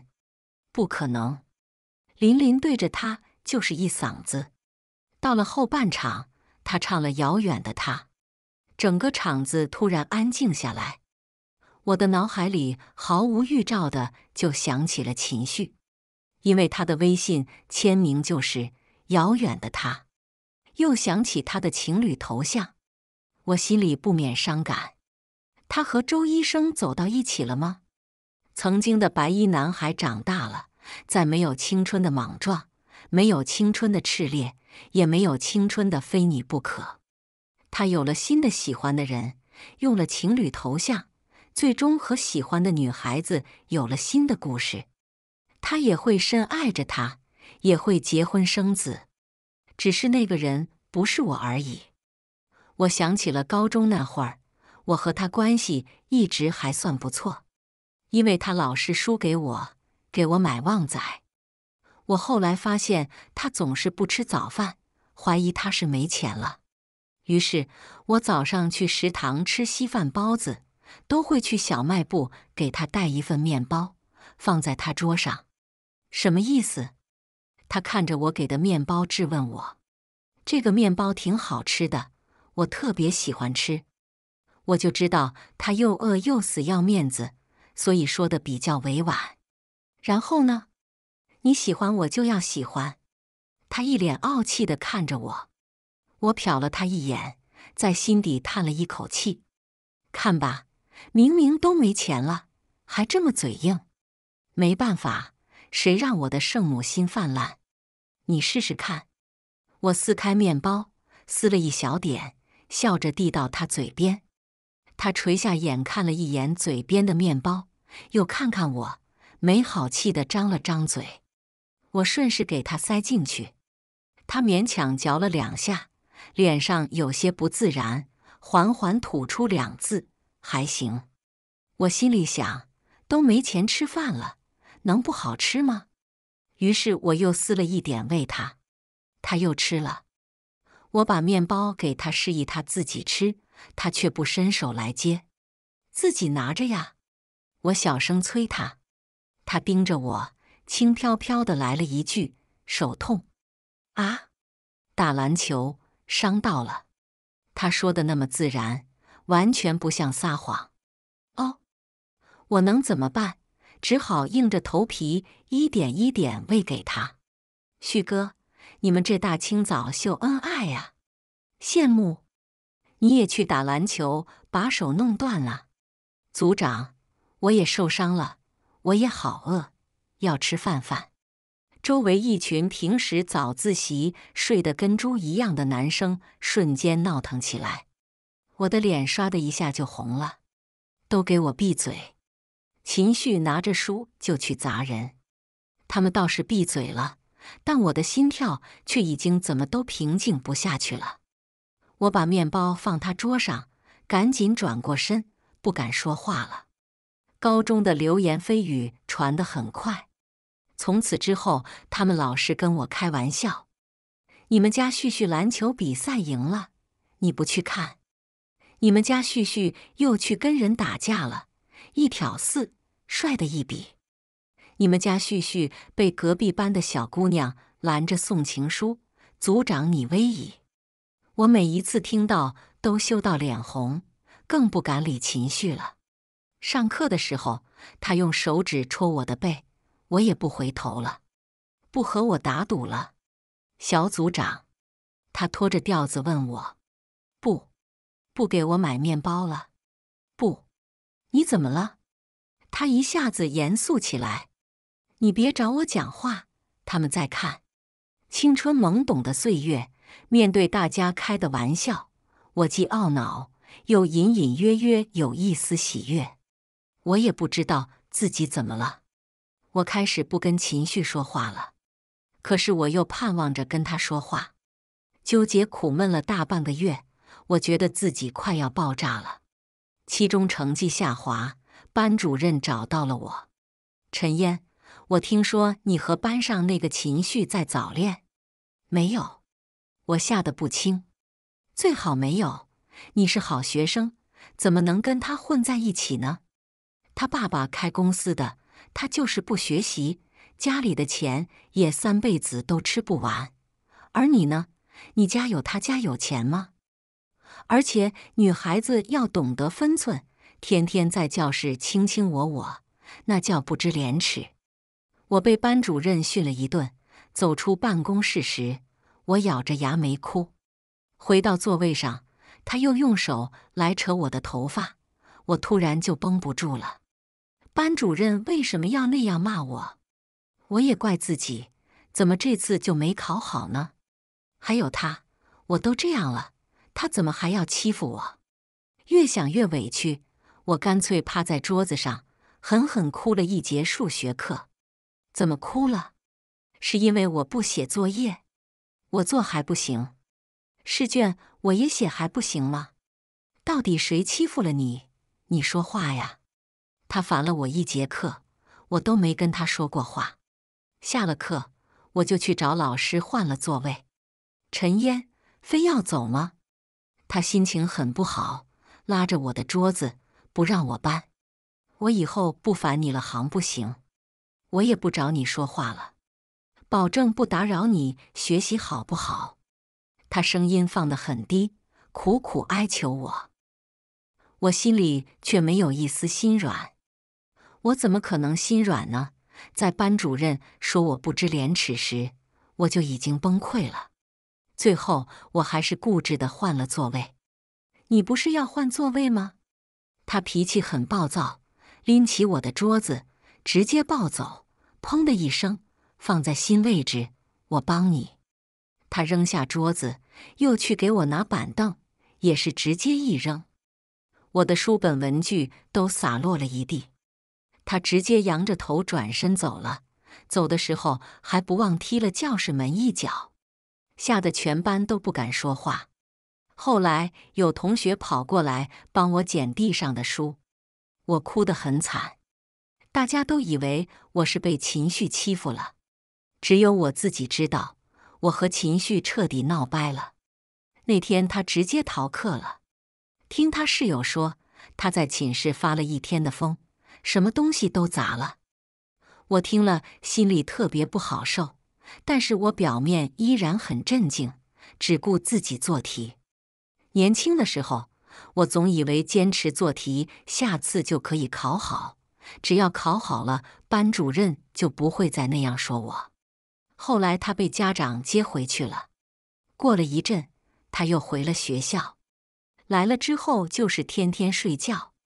班上没人再开我和他的玩笑了。为了避开他，我从来都只从前门进，因为他坐在最后的面的位置。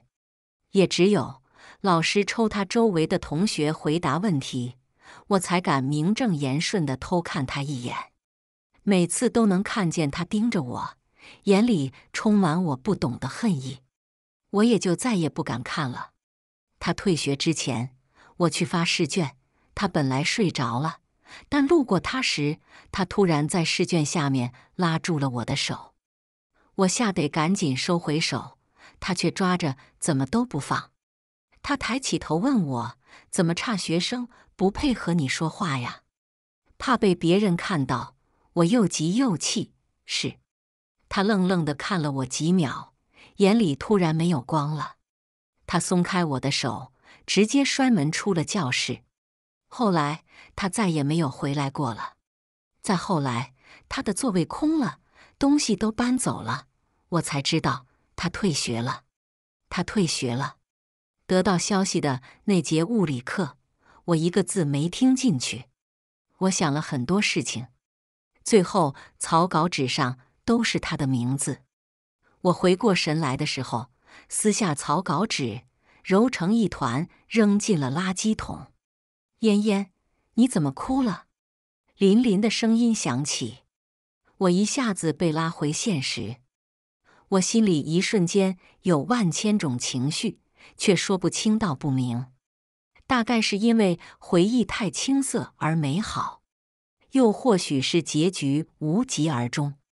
最后归结为他唱的太感人了。我笑着指了指台上的陈奕迅，我怕说出来他会笑我。我也觉得这门票太值了。林林说完，抱着我也开始哭。旁边的唐阳一脸不知所措的给我们递纸巾。演唱会结束，我们走出了会馆，才想起他朋友这事。他说他的票在后面，没跟我们一排，来得很晚，就没过来打招呼。后来有急事，又提前走了。哦，后来我们三个又去了大排档。胡吃海吃一顿后，早把他那个朋友的插曲忘得干干净净。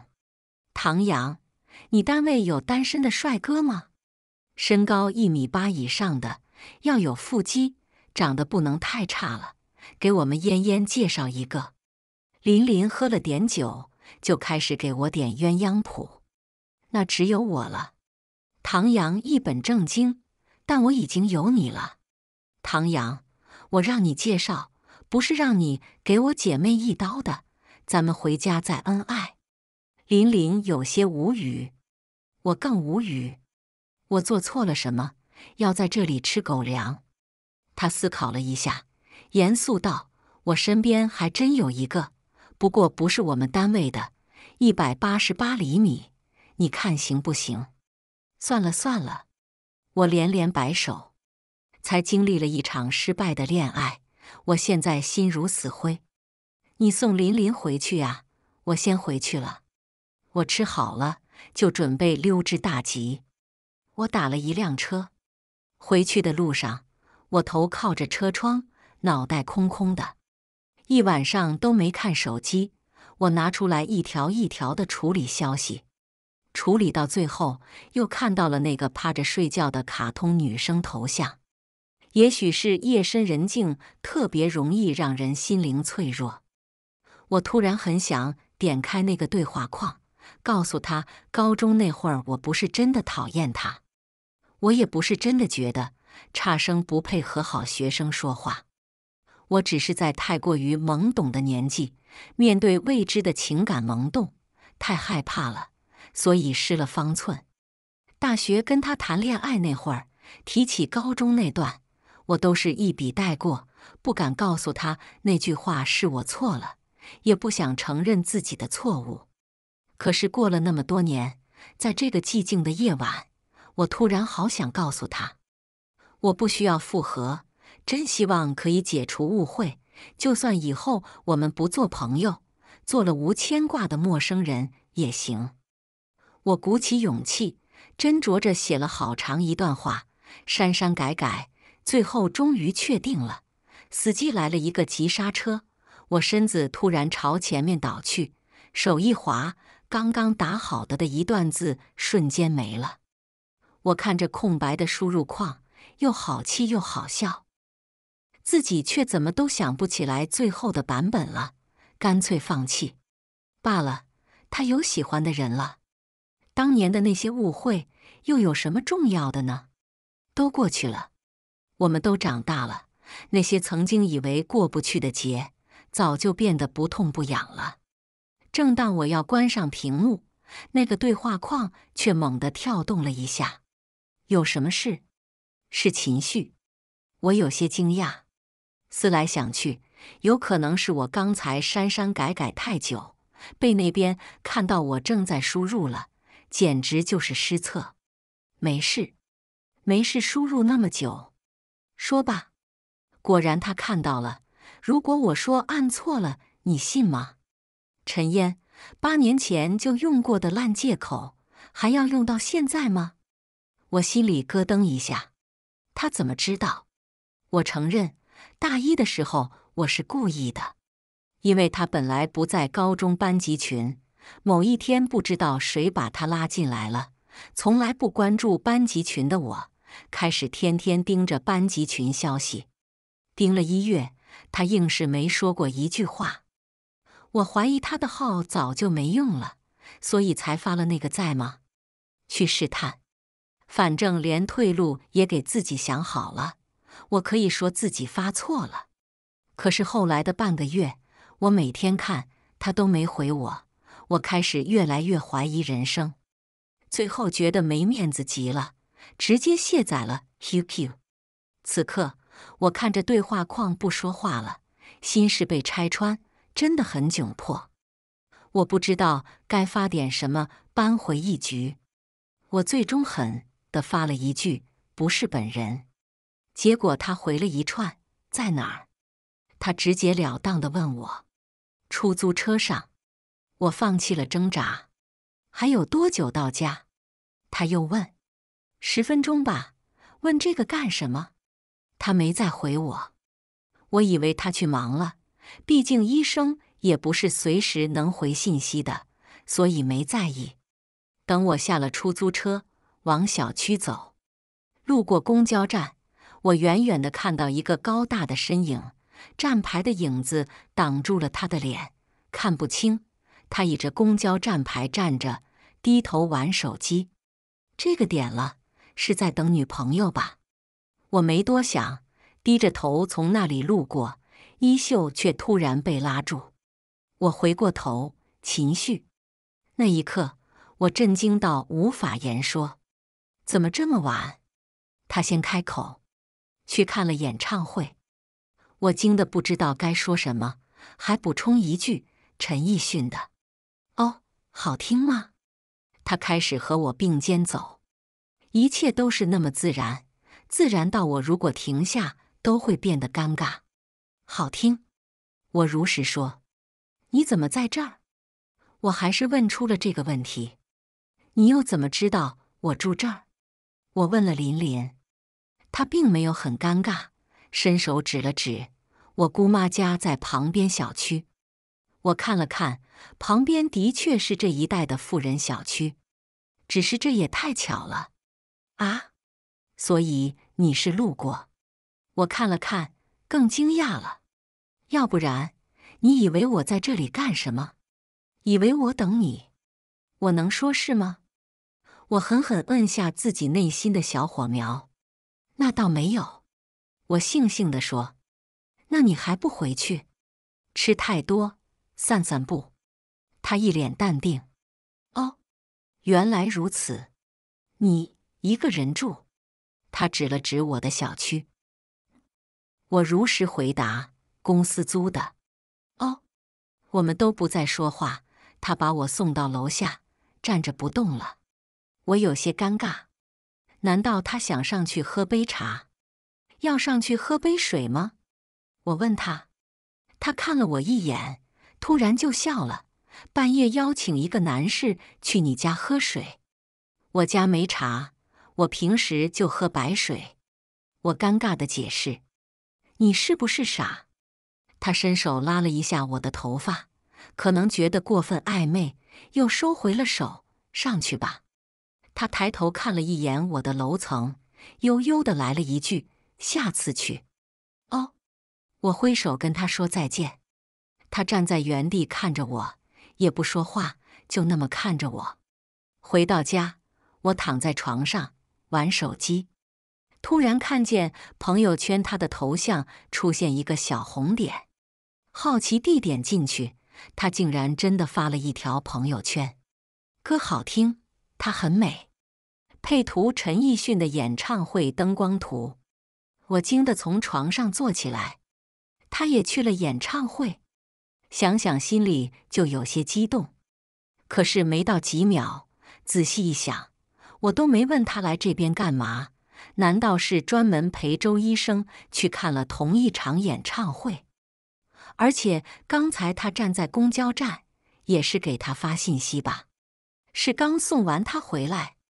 怪不得我刚从请他上楼喝水，他拒绝了。越想越窒息，我点了一个赞，关了手机，蒙头大睡。第二天早上起来，就看到了他给我发的微信，只给点赞。不发微信，我心里一惊。那恭喜你，心里就是很无语。他真是过分，还要让我这个前女友亲口祝福，恭喜我什么？看着他的消息，我更生气了，却又不想丢了面子。恭喜你抱得美人归，祝你百年好合，早生贵子，可以了吧？他很久没再发消息过来。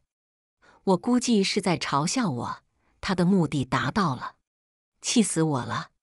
那我替他谢谢你，不用谢。一大清早，我的心情就毁了。后来我和他没再聊了。晚上下班，外面下了瓢泼大雨，我没拿伞，犹豫要不要直接下车冒雨跑回家，却又看见了秦旭。我一度以为自己眼花了。毕竟他怎么可能再次出现在我小区门口？要伞吗？他撑着一把黑色的雨伞，说话间已经为我撑在头顶上。谢谢。我疑惑的看着他，你还没回也是？不要跟我说你又来找你姑妈，这次不找姑妈了。他笑了笑，把伞尽量往我这边，小声说了一句：“找我姑奶奶。”他一路把我送到电梯口，外面雨好大，我的心跳的好快。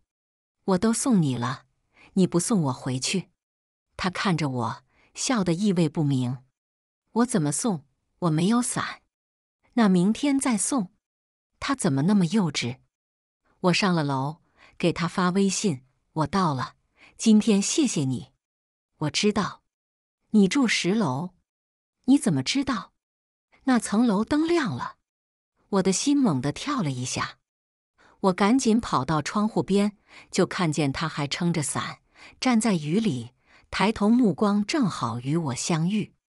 他扬了扬手机，示意我接电话，然后他的电话就来了。你怎么还没走？我问他。等一会儿，抽根烟。哦，我心情有些低落，又抽烟。不喜欢我抽烟，我没说话了。陈烟，你凭什么管我？他语气里带了点痞子的味道，问得我一愣一愣的。这件事好像确实与我无关。我真想问他，这样等我送我到底是什么意思？又怕问出口得到失望的答案会很尴尬，于是干脆不问。我没想管你，走了。他有些情绪，灭了烟，撑着伞走了。晚上我躺在床上刷朋友圈，他又发了朋友圈，等他。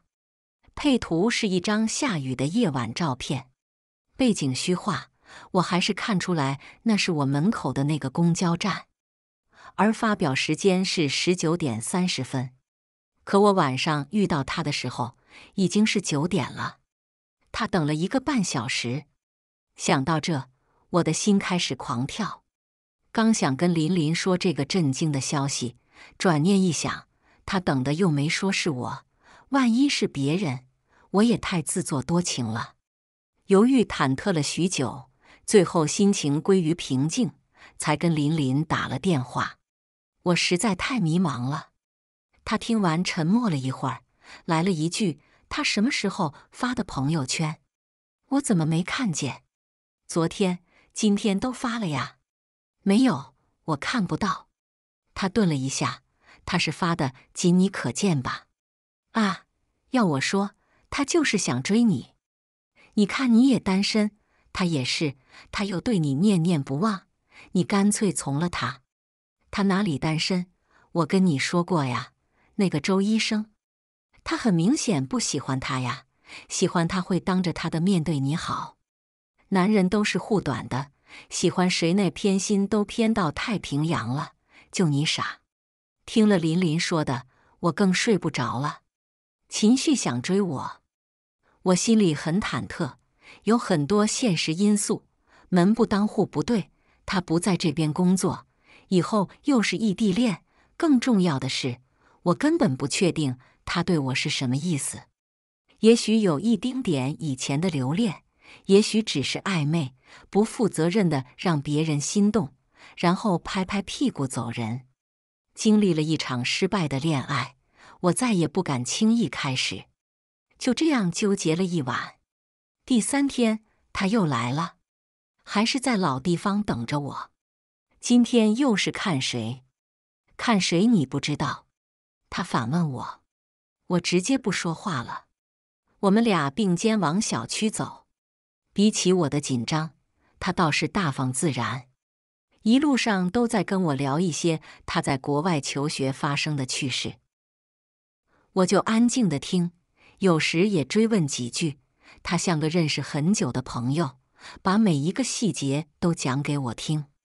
有机会真想带你去国外生活的地方看看。他垂下眼来看我，带我去干什么？我避开他的眼神，那些心底的蠢蠢欲动，折磨得我很不安。没什么，就当时我每去一个地方，都想象着如果你在就好了。你看见那么蓝的海水，肯定会拍照；看见那些飞的海鸟。肯定会给他们投食。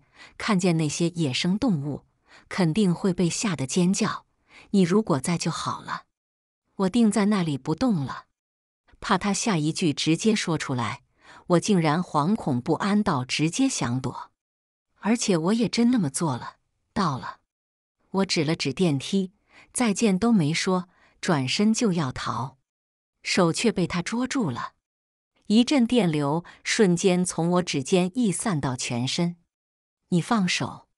我压低声音喊他，他却站在那里纹丝不动，只是拉着我。等我再要挣扎，他轻轻一带，我就跌进他怀里。我条件反射想推开他，他却轻轻笑了一下，手真软。你，我有些急，你到底要干什么？不干什么。他仍旧拉着我不放，就牵一会儿。我们这算什么？算你赢了。他一脸无奈，眼里尽是宠溺。我的心跳快的就要冲出胸腔了。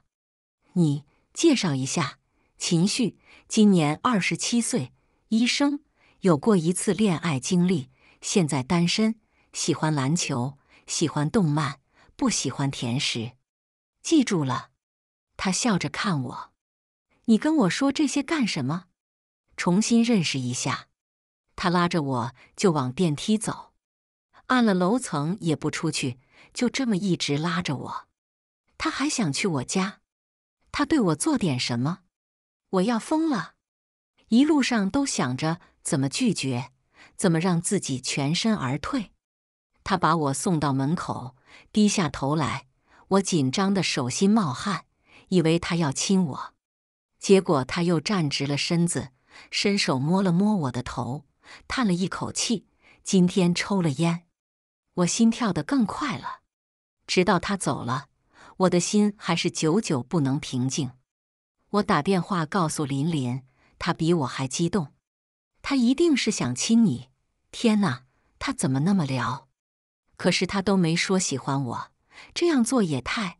我也没说喜欢他。我跟他吐槽，脸却红了。纠结了一晚上，我决定明天见到他时一定问清楚。这样不清不楚的暧昧，已经让我好几天失眠了。结果第二天他没来，我站在公交站下等了半小时，他没来，也没给我发信息。我觉得我被耍了，心情无比沮丧。回到家里，做什么都提不起精神。洗漱完，他的微信却来了：“今晚有台手术，耽误了一点时间。”原来是这样。本来前一秒还想着这种渣男再来联系我，我也坚决不再理会了。但此刻，我立马回了一个：“真是一秒打脸。”在等我。他微信又来了：“怎么会？”我立马反驳：“我追剧都来不及，怎么可能等你？而且你是我的谁呀？我要等你？”情绪。我觉得我们还是保持一点距离吧，走太近容易误会，对谁都不好。我头脑发热，一连发了好几条微信，要跟他划清界限。结果他电话直接打过来了，犹豫几秒，我还是接了。干什么？我不客气地问他，他却一点都不生气，反而在电话那头笑了。开门。开门，放心，我看一眼就走。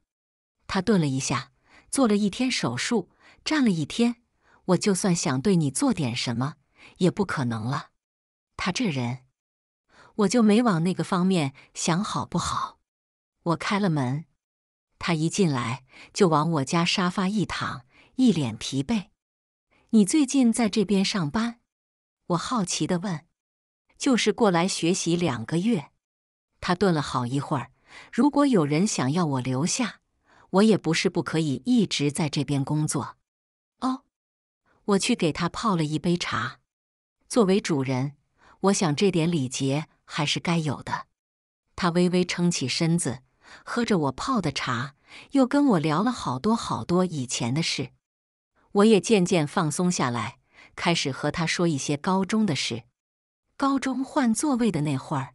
你为什么那么生气？我问他，觉得你背叛了我。他轻飘飘看我一眼，换个座位就是背叛，也太严重了。换个座位，你又和别的人好了，那不是背叛？我，我高中什么时候跟你好了？我反问他，喝着我的旺仔，天天冲着我笑，还给我买早饭，你不是在吊我吗？我额头闪过三根黑线，我当时根本没那样想，就是为了收个作业，我容易吗？收作业，不是喜欢我，当然不是。他脸色瞬间不好了，我突然意识到，他可能从那个时候就喜欢我了，而且还误会我喜欢他，气氛变得很尴尬。我先走了，他站起来，哦。这就走了，累了。他回过头来，欲言又止，最后还是拉开门出去了。毛病，他还真是阴晴不定。接下来的几天，他倒是几乎天天忙，晚上没来送我了，我更没有时间理他了，因为我和琳琳去自驾游了，行程是很早之前就安排好的。我们开车去了甘孜，一路开往西北，去了康定、新都桥，沿途风景美不胜收，我们玩得不亦乐乎。山里信号差，每天几乎只有到了晚上的酒店里才能收到外界的消息。你和秦旭怎么样了？林林问我。没怎么样，感觉挺暧昧，但是不知道怎么说。那你喜欢他吗？我沉默了。我喜欢他吗？我想我还是喜欢的。就连和他分手那几年，我偶尔还会梦见他。为什么对他念念不忘？我也想不通。也许是因为他是我的初恋，也许是那段青春过于青涩而美好，而他刚好是那段时光里出现的那个少年。因为有了他，我的青春才算完整。现在的生活。一切都是那样的按部就班，那段青春时光总是能在我难过、烦闷、压抑的时候治愈我，所以怎么可能忘掉呢？喜欢不能当饭吃，我苦涩的笑了笑。现在的喜欢离开了物质，如同纸上谈兵。成年的我们不做没有把握的事了。哎，你就咒吧，甜甜的爱情不好吗？就隔着这一层纸，真想给你们捅破。林林向来受不了我这样，他就是什么都直来直往，大胆的让我羡慕。晚上回去翻手机，看到秦旭发的微信，还是会心里泛起波澜。他问我怎么没在家，我告诉他我出来旅游了。他就让我多拍拍照片，我也大方地给他分享了风景照片。他总是说好看，除了好看也没有别的词了。他没有说过想我，也没过多地关心我们今天又去玩了什么，只是像是例行问候，随便聊两句就睡了。晚上躺在床上，我有些失落。他大概也没多在意我。要不然怎么会表现得这么冷淡？回来的时候说一声“我请你们吃饭”，他就这么轻飘飘的来一句。返程回去的那一天，我想着回去就要见到他了，就连油门都轰得狠了一些。我突然意识到，我好像还是喜欢他。结果天公不作美，车子开到半路，外面下起了瓢泼大雨，堵车堵得厉害。原本六点能到，硬是晚上七点了，还堵在路上，我真的快哭了。开累了，我来。林林见我情绪不佳，以为我被堵烦了。其实只有我自己知道，我只是太着急，想见他罢了。后面换了林林开车，车子突然就抛锚了，这下完蛋了。等了一个小时救援。旁边的车都走完了，救援还没来。更危险的是，气象部门发出提示，这样的暴雨很可能导致山体滑坡。救援那边说车子今晚都过不来了，让我们先自己找个地方住一晚。挂了电话，我和林林就傻眼了。这荒郊野外，前不着村后不着店的，到哪里去住？况且外面下这么大的雨，我们怎么走？没办法了，我提议把车推到前面隧洞，至少我们还能在车子里待着将就一晚。奈何我们俩力气太小，弄了老半天，使出吃奶的力气把车弄进去，两个人都已经完全累瘫了。嫣嫣，我这辈子都不想自驾游了。一直坚强的琳琳都忍不住抱着我哭了。没事，没事，明天就好了。先睡一觉，我守着。我抱着她安慰：“好，我困死了，睡一会儿换你。”她秒睡了。她睡了，我却害怕了，因为隧道里面出了电路故障，我们只好用车灯照明。漆黑的隧道只有一点光。别提有多恐怖了，不只是他，我都快崩溃了。也许是太害怕了，我给秦旭发了微信，我好害怕。之前他等我们吃饭，没等到，我就告诉了他我们的遭遇。他很想帮忙，但也无计可施，中途还被叫去医院了。发这条微信，我甚至都不知道他有没有时间回。结果他的电话一秒过来了，待在车里，开点窗，先别睡，手机别玩了，省电，发个定位给我，坚持一会儿。他简单的给我交代了一下，然后我就听见了车子发动的声音，他才从医院回家。我也没多想，只是按照他的指示去做。后来我实在坚持不了了，坐在车里都睡着了。也不知道过了过久，又被一阵汽车声音惊醒。我拿手机看了一眼，都十二点了。我恨不得我没醒来，因为醒来真的太吓人了。身后来了一辆车，还是在午夜十二点来的，这让我怎么想怎么觉得恐怖。可能是鬼，也可能是坏人。一瞬间，我脑子里闪过千万种假设。每一种都足够让我死一次。我缩在车里，伸手去摇林林，林林，醒醒！”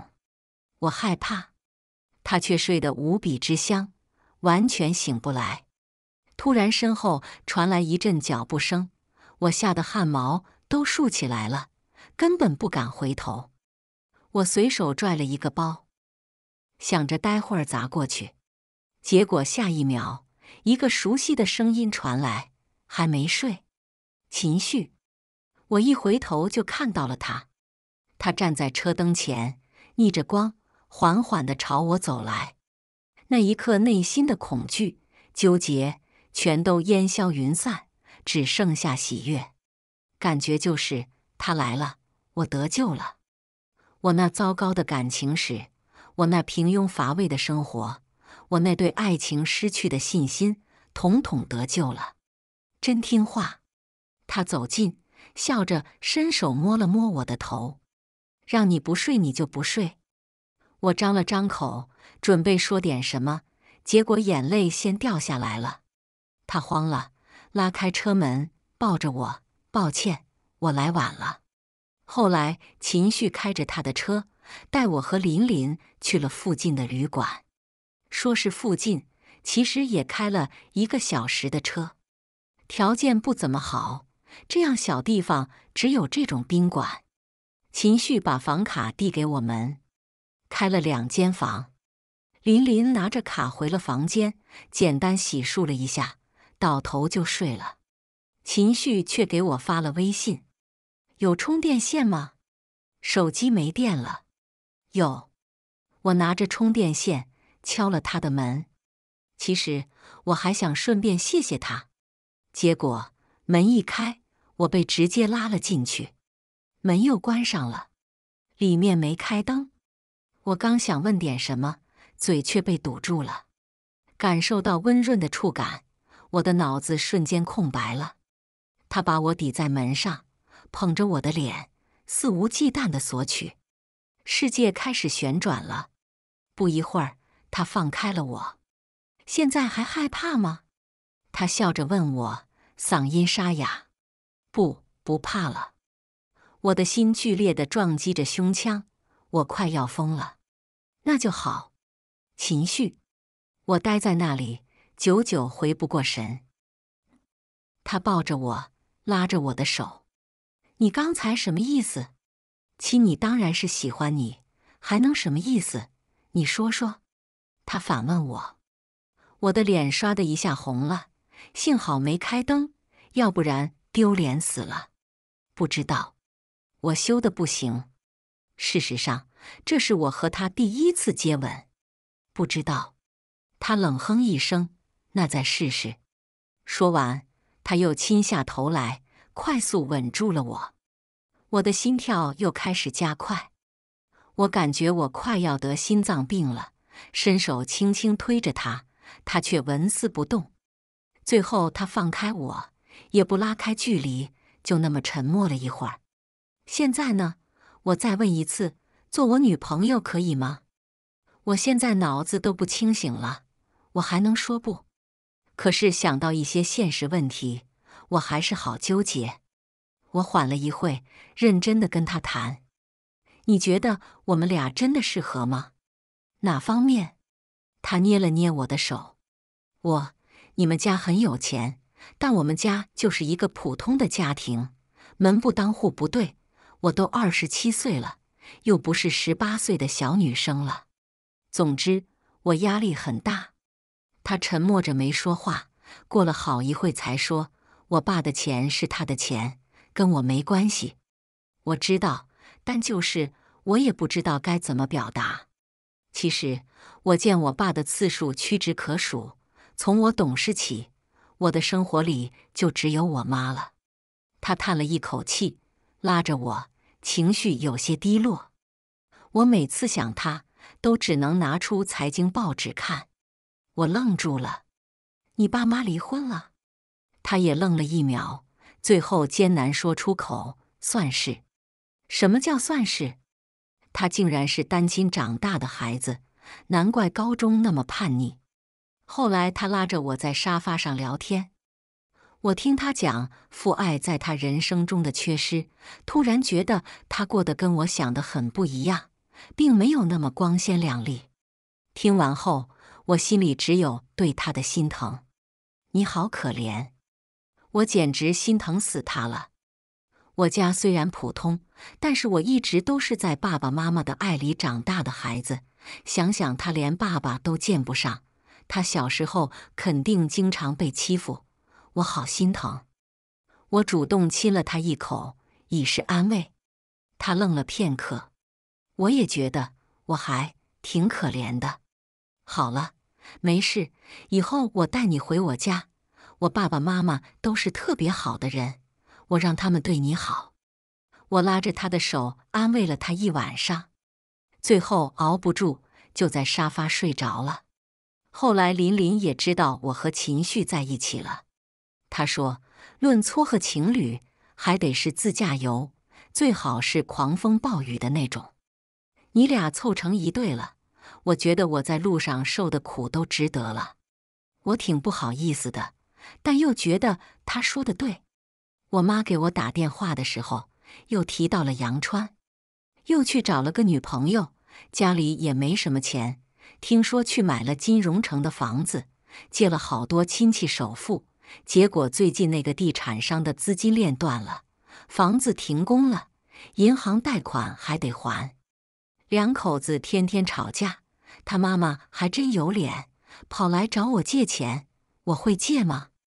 我又不是冤大头。我听着我妈说这些事，心里除了唏嘘，又觉得这样的生活好像离我有些遥远了。她还是挺惨的，我感叹一句：幸好你当时没嫁过去。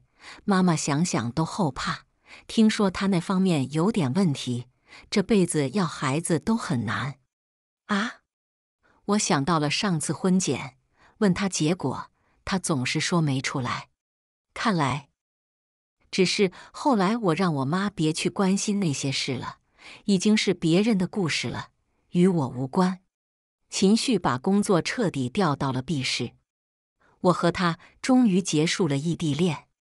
国庆他带我回了他父母家，那是一栋海边别墅。我准备了两份过年礼品。行程怎么安排的？今天去的是你妈妈家还是你爸爸家？随便。他有些含糊，随便。什么叫随便？眼看别墅都到了，我也来不及问那么多了，整理好衣服，跟着他进去了，想着到时候看到谁就是谁了。出来迎接的是一个漂亮的中年女人，一看就是他妈妈，因为跟他长得特别像。阿姨好，我甜甜的喊了一声：“嫣嫣吧。”快过来！他热情的拉着我就往楼上走。阿姨一个月前就知道你要来，去给你买了好多衣服，你快来看看喜不喜欢？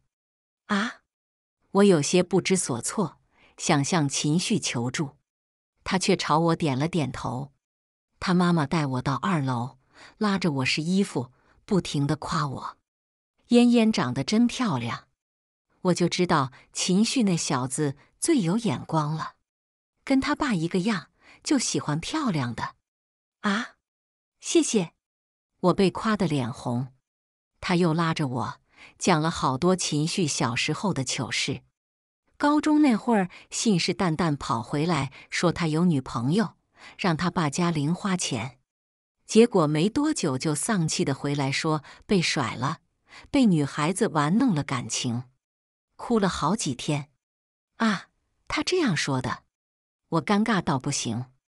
那个女孩子难道就是你？他妈妈惊讶的看着我，我没说话，他却笑得前俯后仰。不行了，太好笑！我要下楼去告诉他爸。叔叔也来了。什么叫他也来了？他妈妈好奇的看着我。秦旭到底怎么跟你说的？我有些尴尬，又不清楚怎么回事。他说：“你和叔叔离婚了。”我小声地说。他听了很惊讶，然后笑得更大声了。他一问我，我就把秦旭说的跟他说了一遍。于是半小时后，餐桌上戴着眼镜的中年男人盯着秦旭，听说我离婚了。我尴尬到极致，秦旭却一脸无所谓。是离了呀，那是你幼儿园的时候，你小学就复婚了。他爸气得脸色铁青。那也是离婚了，我又没说错。是，你没错。他爸想发火，碍于我在，又忍下来。后来我和他妈妈去了厨房，外面传来声音：“臭小子，你追女朋友就追女朋友，把你爹拿出来卖惨，行吧？追到就行。你追我妈不也是求着我外婆，说你无父无母来着？你，而且我只是陈述事实，他又没问我你们什么时候离的。还有，离婚是你的污点，以后别提了。”罢了，罢了，我听得心里一惊。他妈妈却安慰的拍了拍我肩膀，笑着说：“没事，一物降一物，他管得住他爸爸，你管得住他。”我羞得不好意思说话。晚上，他妈妈给我安排在客房，半夜他却跑来了：“你干什么？”我今天被我爸爸训了。他可怜兮兮的看着我：“你不安慰我一下？”要怎么安慰？我呆在原地，像这样，他低头就吻住了我，吻了好一阵，我脑子发晕，他还觉得没够，没等我反应，他直接将我打横抱起，借着月光走向了卧室。我觉得他一定是把我蛊惑了，要不然我怎么就推不开呢？后来的事实证明，纵使狼再温柔，它也是野兽。他却乐此不疲，浅笑着哄我：“我的小公主长大了。”一切结束，他拉着我不放：“嫣嫣，我好喜欢你，我怎么就那么喜欢你呢？抱着你都觉得好想你，好想你。”我内心谢谢，但滚吧，我累死了，瘫了，妈了。是谁说好马不吃回头草？我对他。怪我当年太年轻，吃了才知道不够。我很没安全感。我们之间相差这么多，你怎么保证你这次不是玩玩而已？要怎么保证？他笑着问我。要不然，把我的命给公主殿下。要不是亲耳听见，真不敢相信医院里严肃正经的秦医生是这样的人。后来我睡了，我做了一个梦。梦里又回到了高中那年，我一转过头就看到他朝着我笑。交作业了吗？我凶狠狠地望着他。写完了。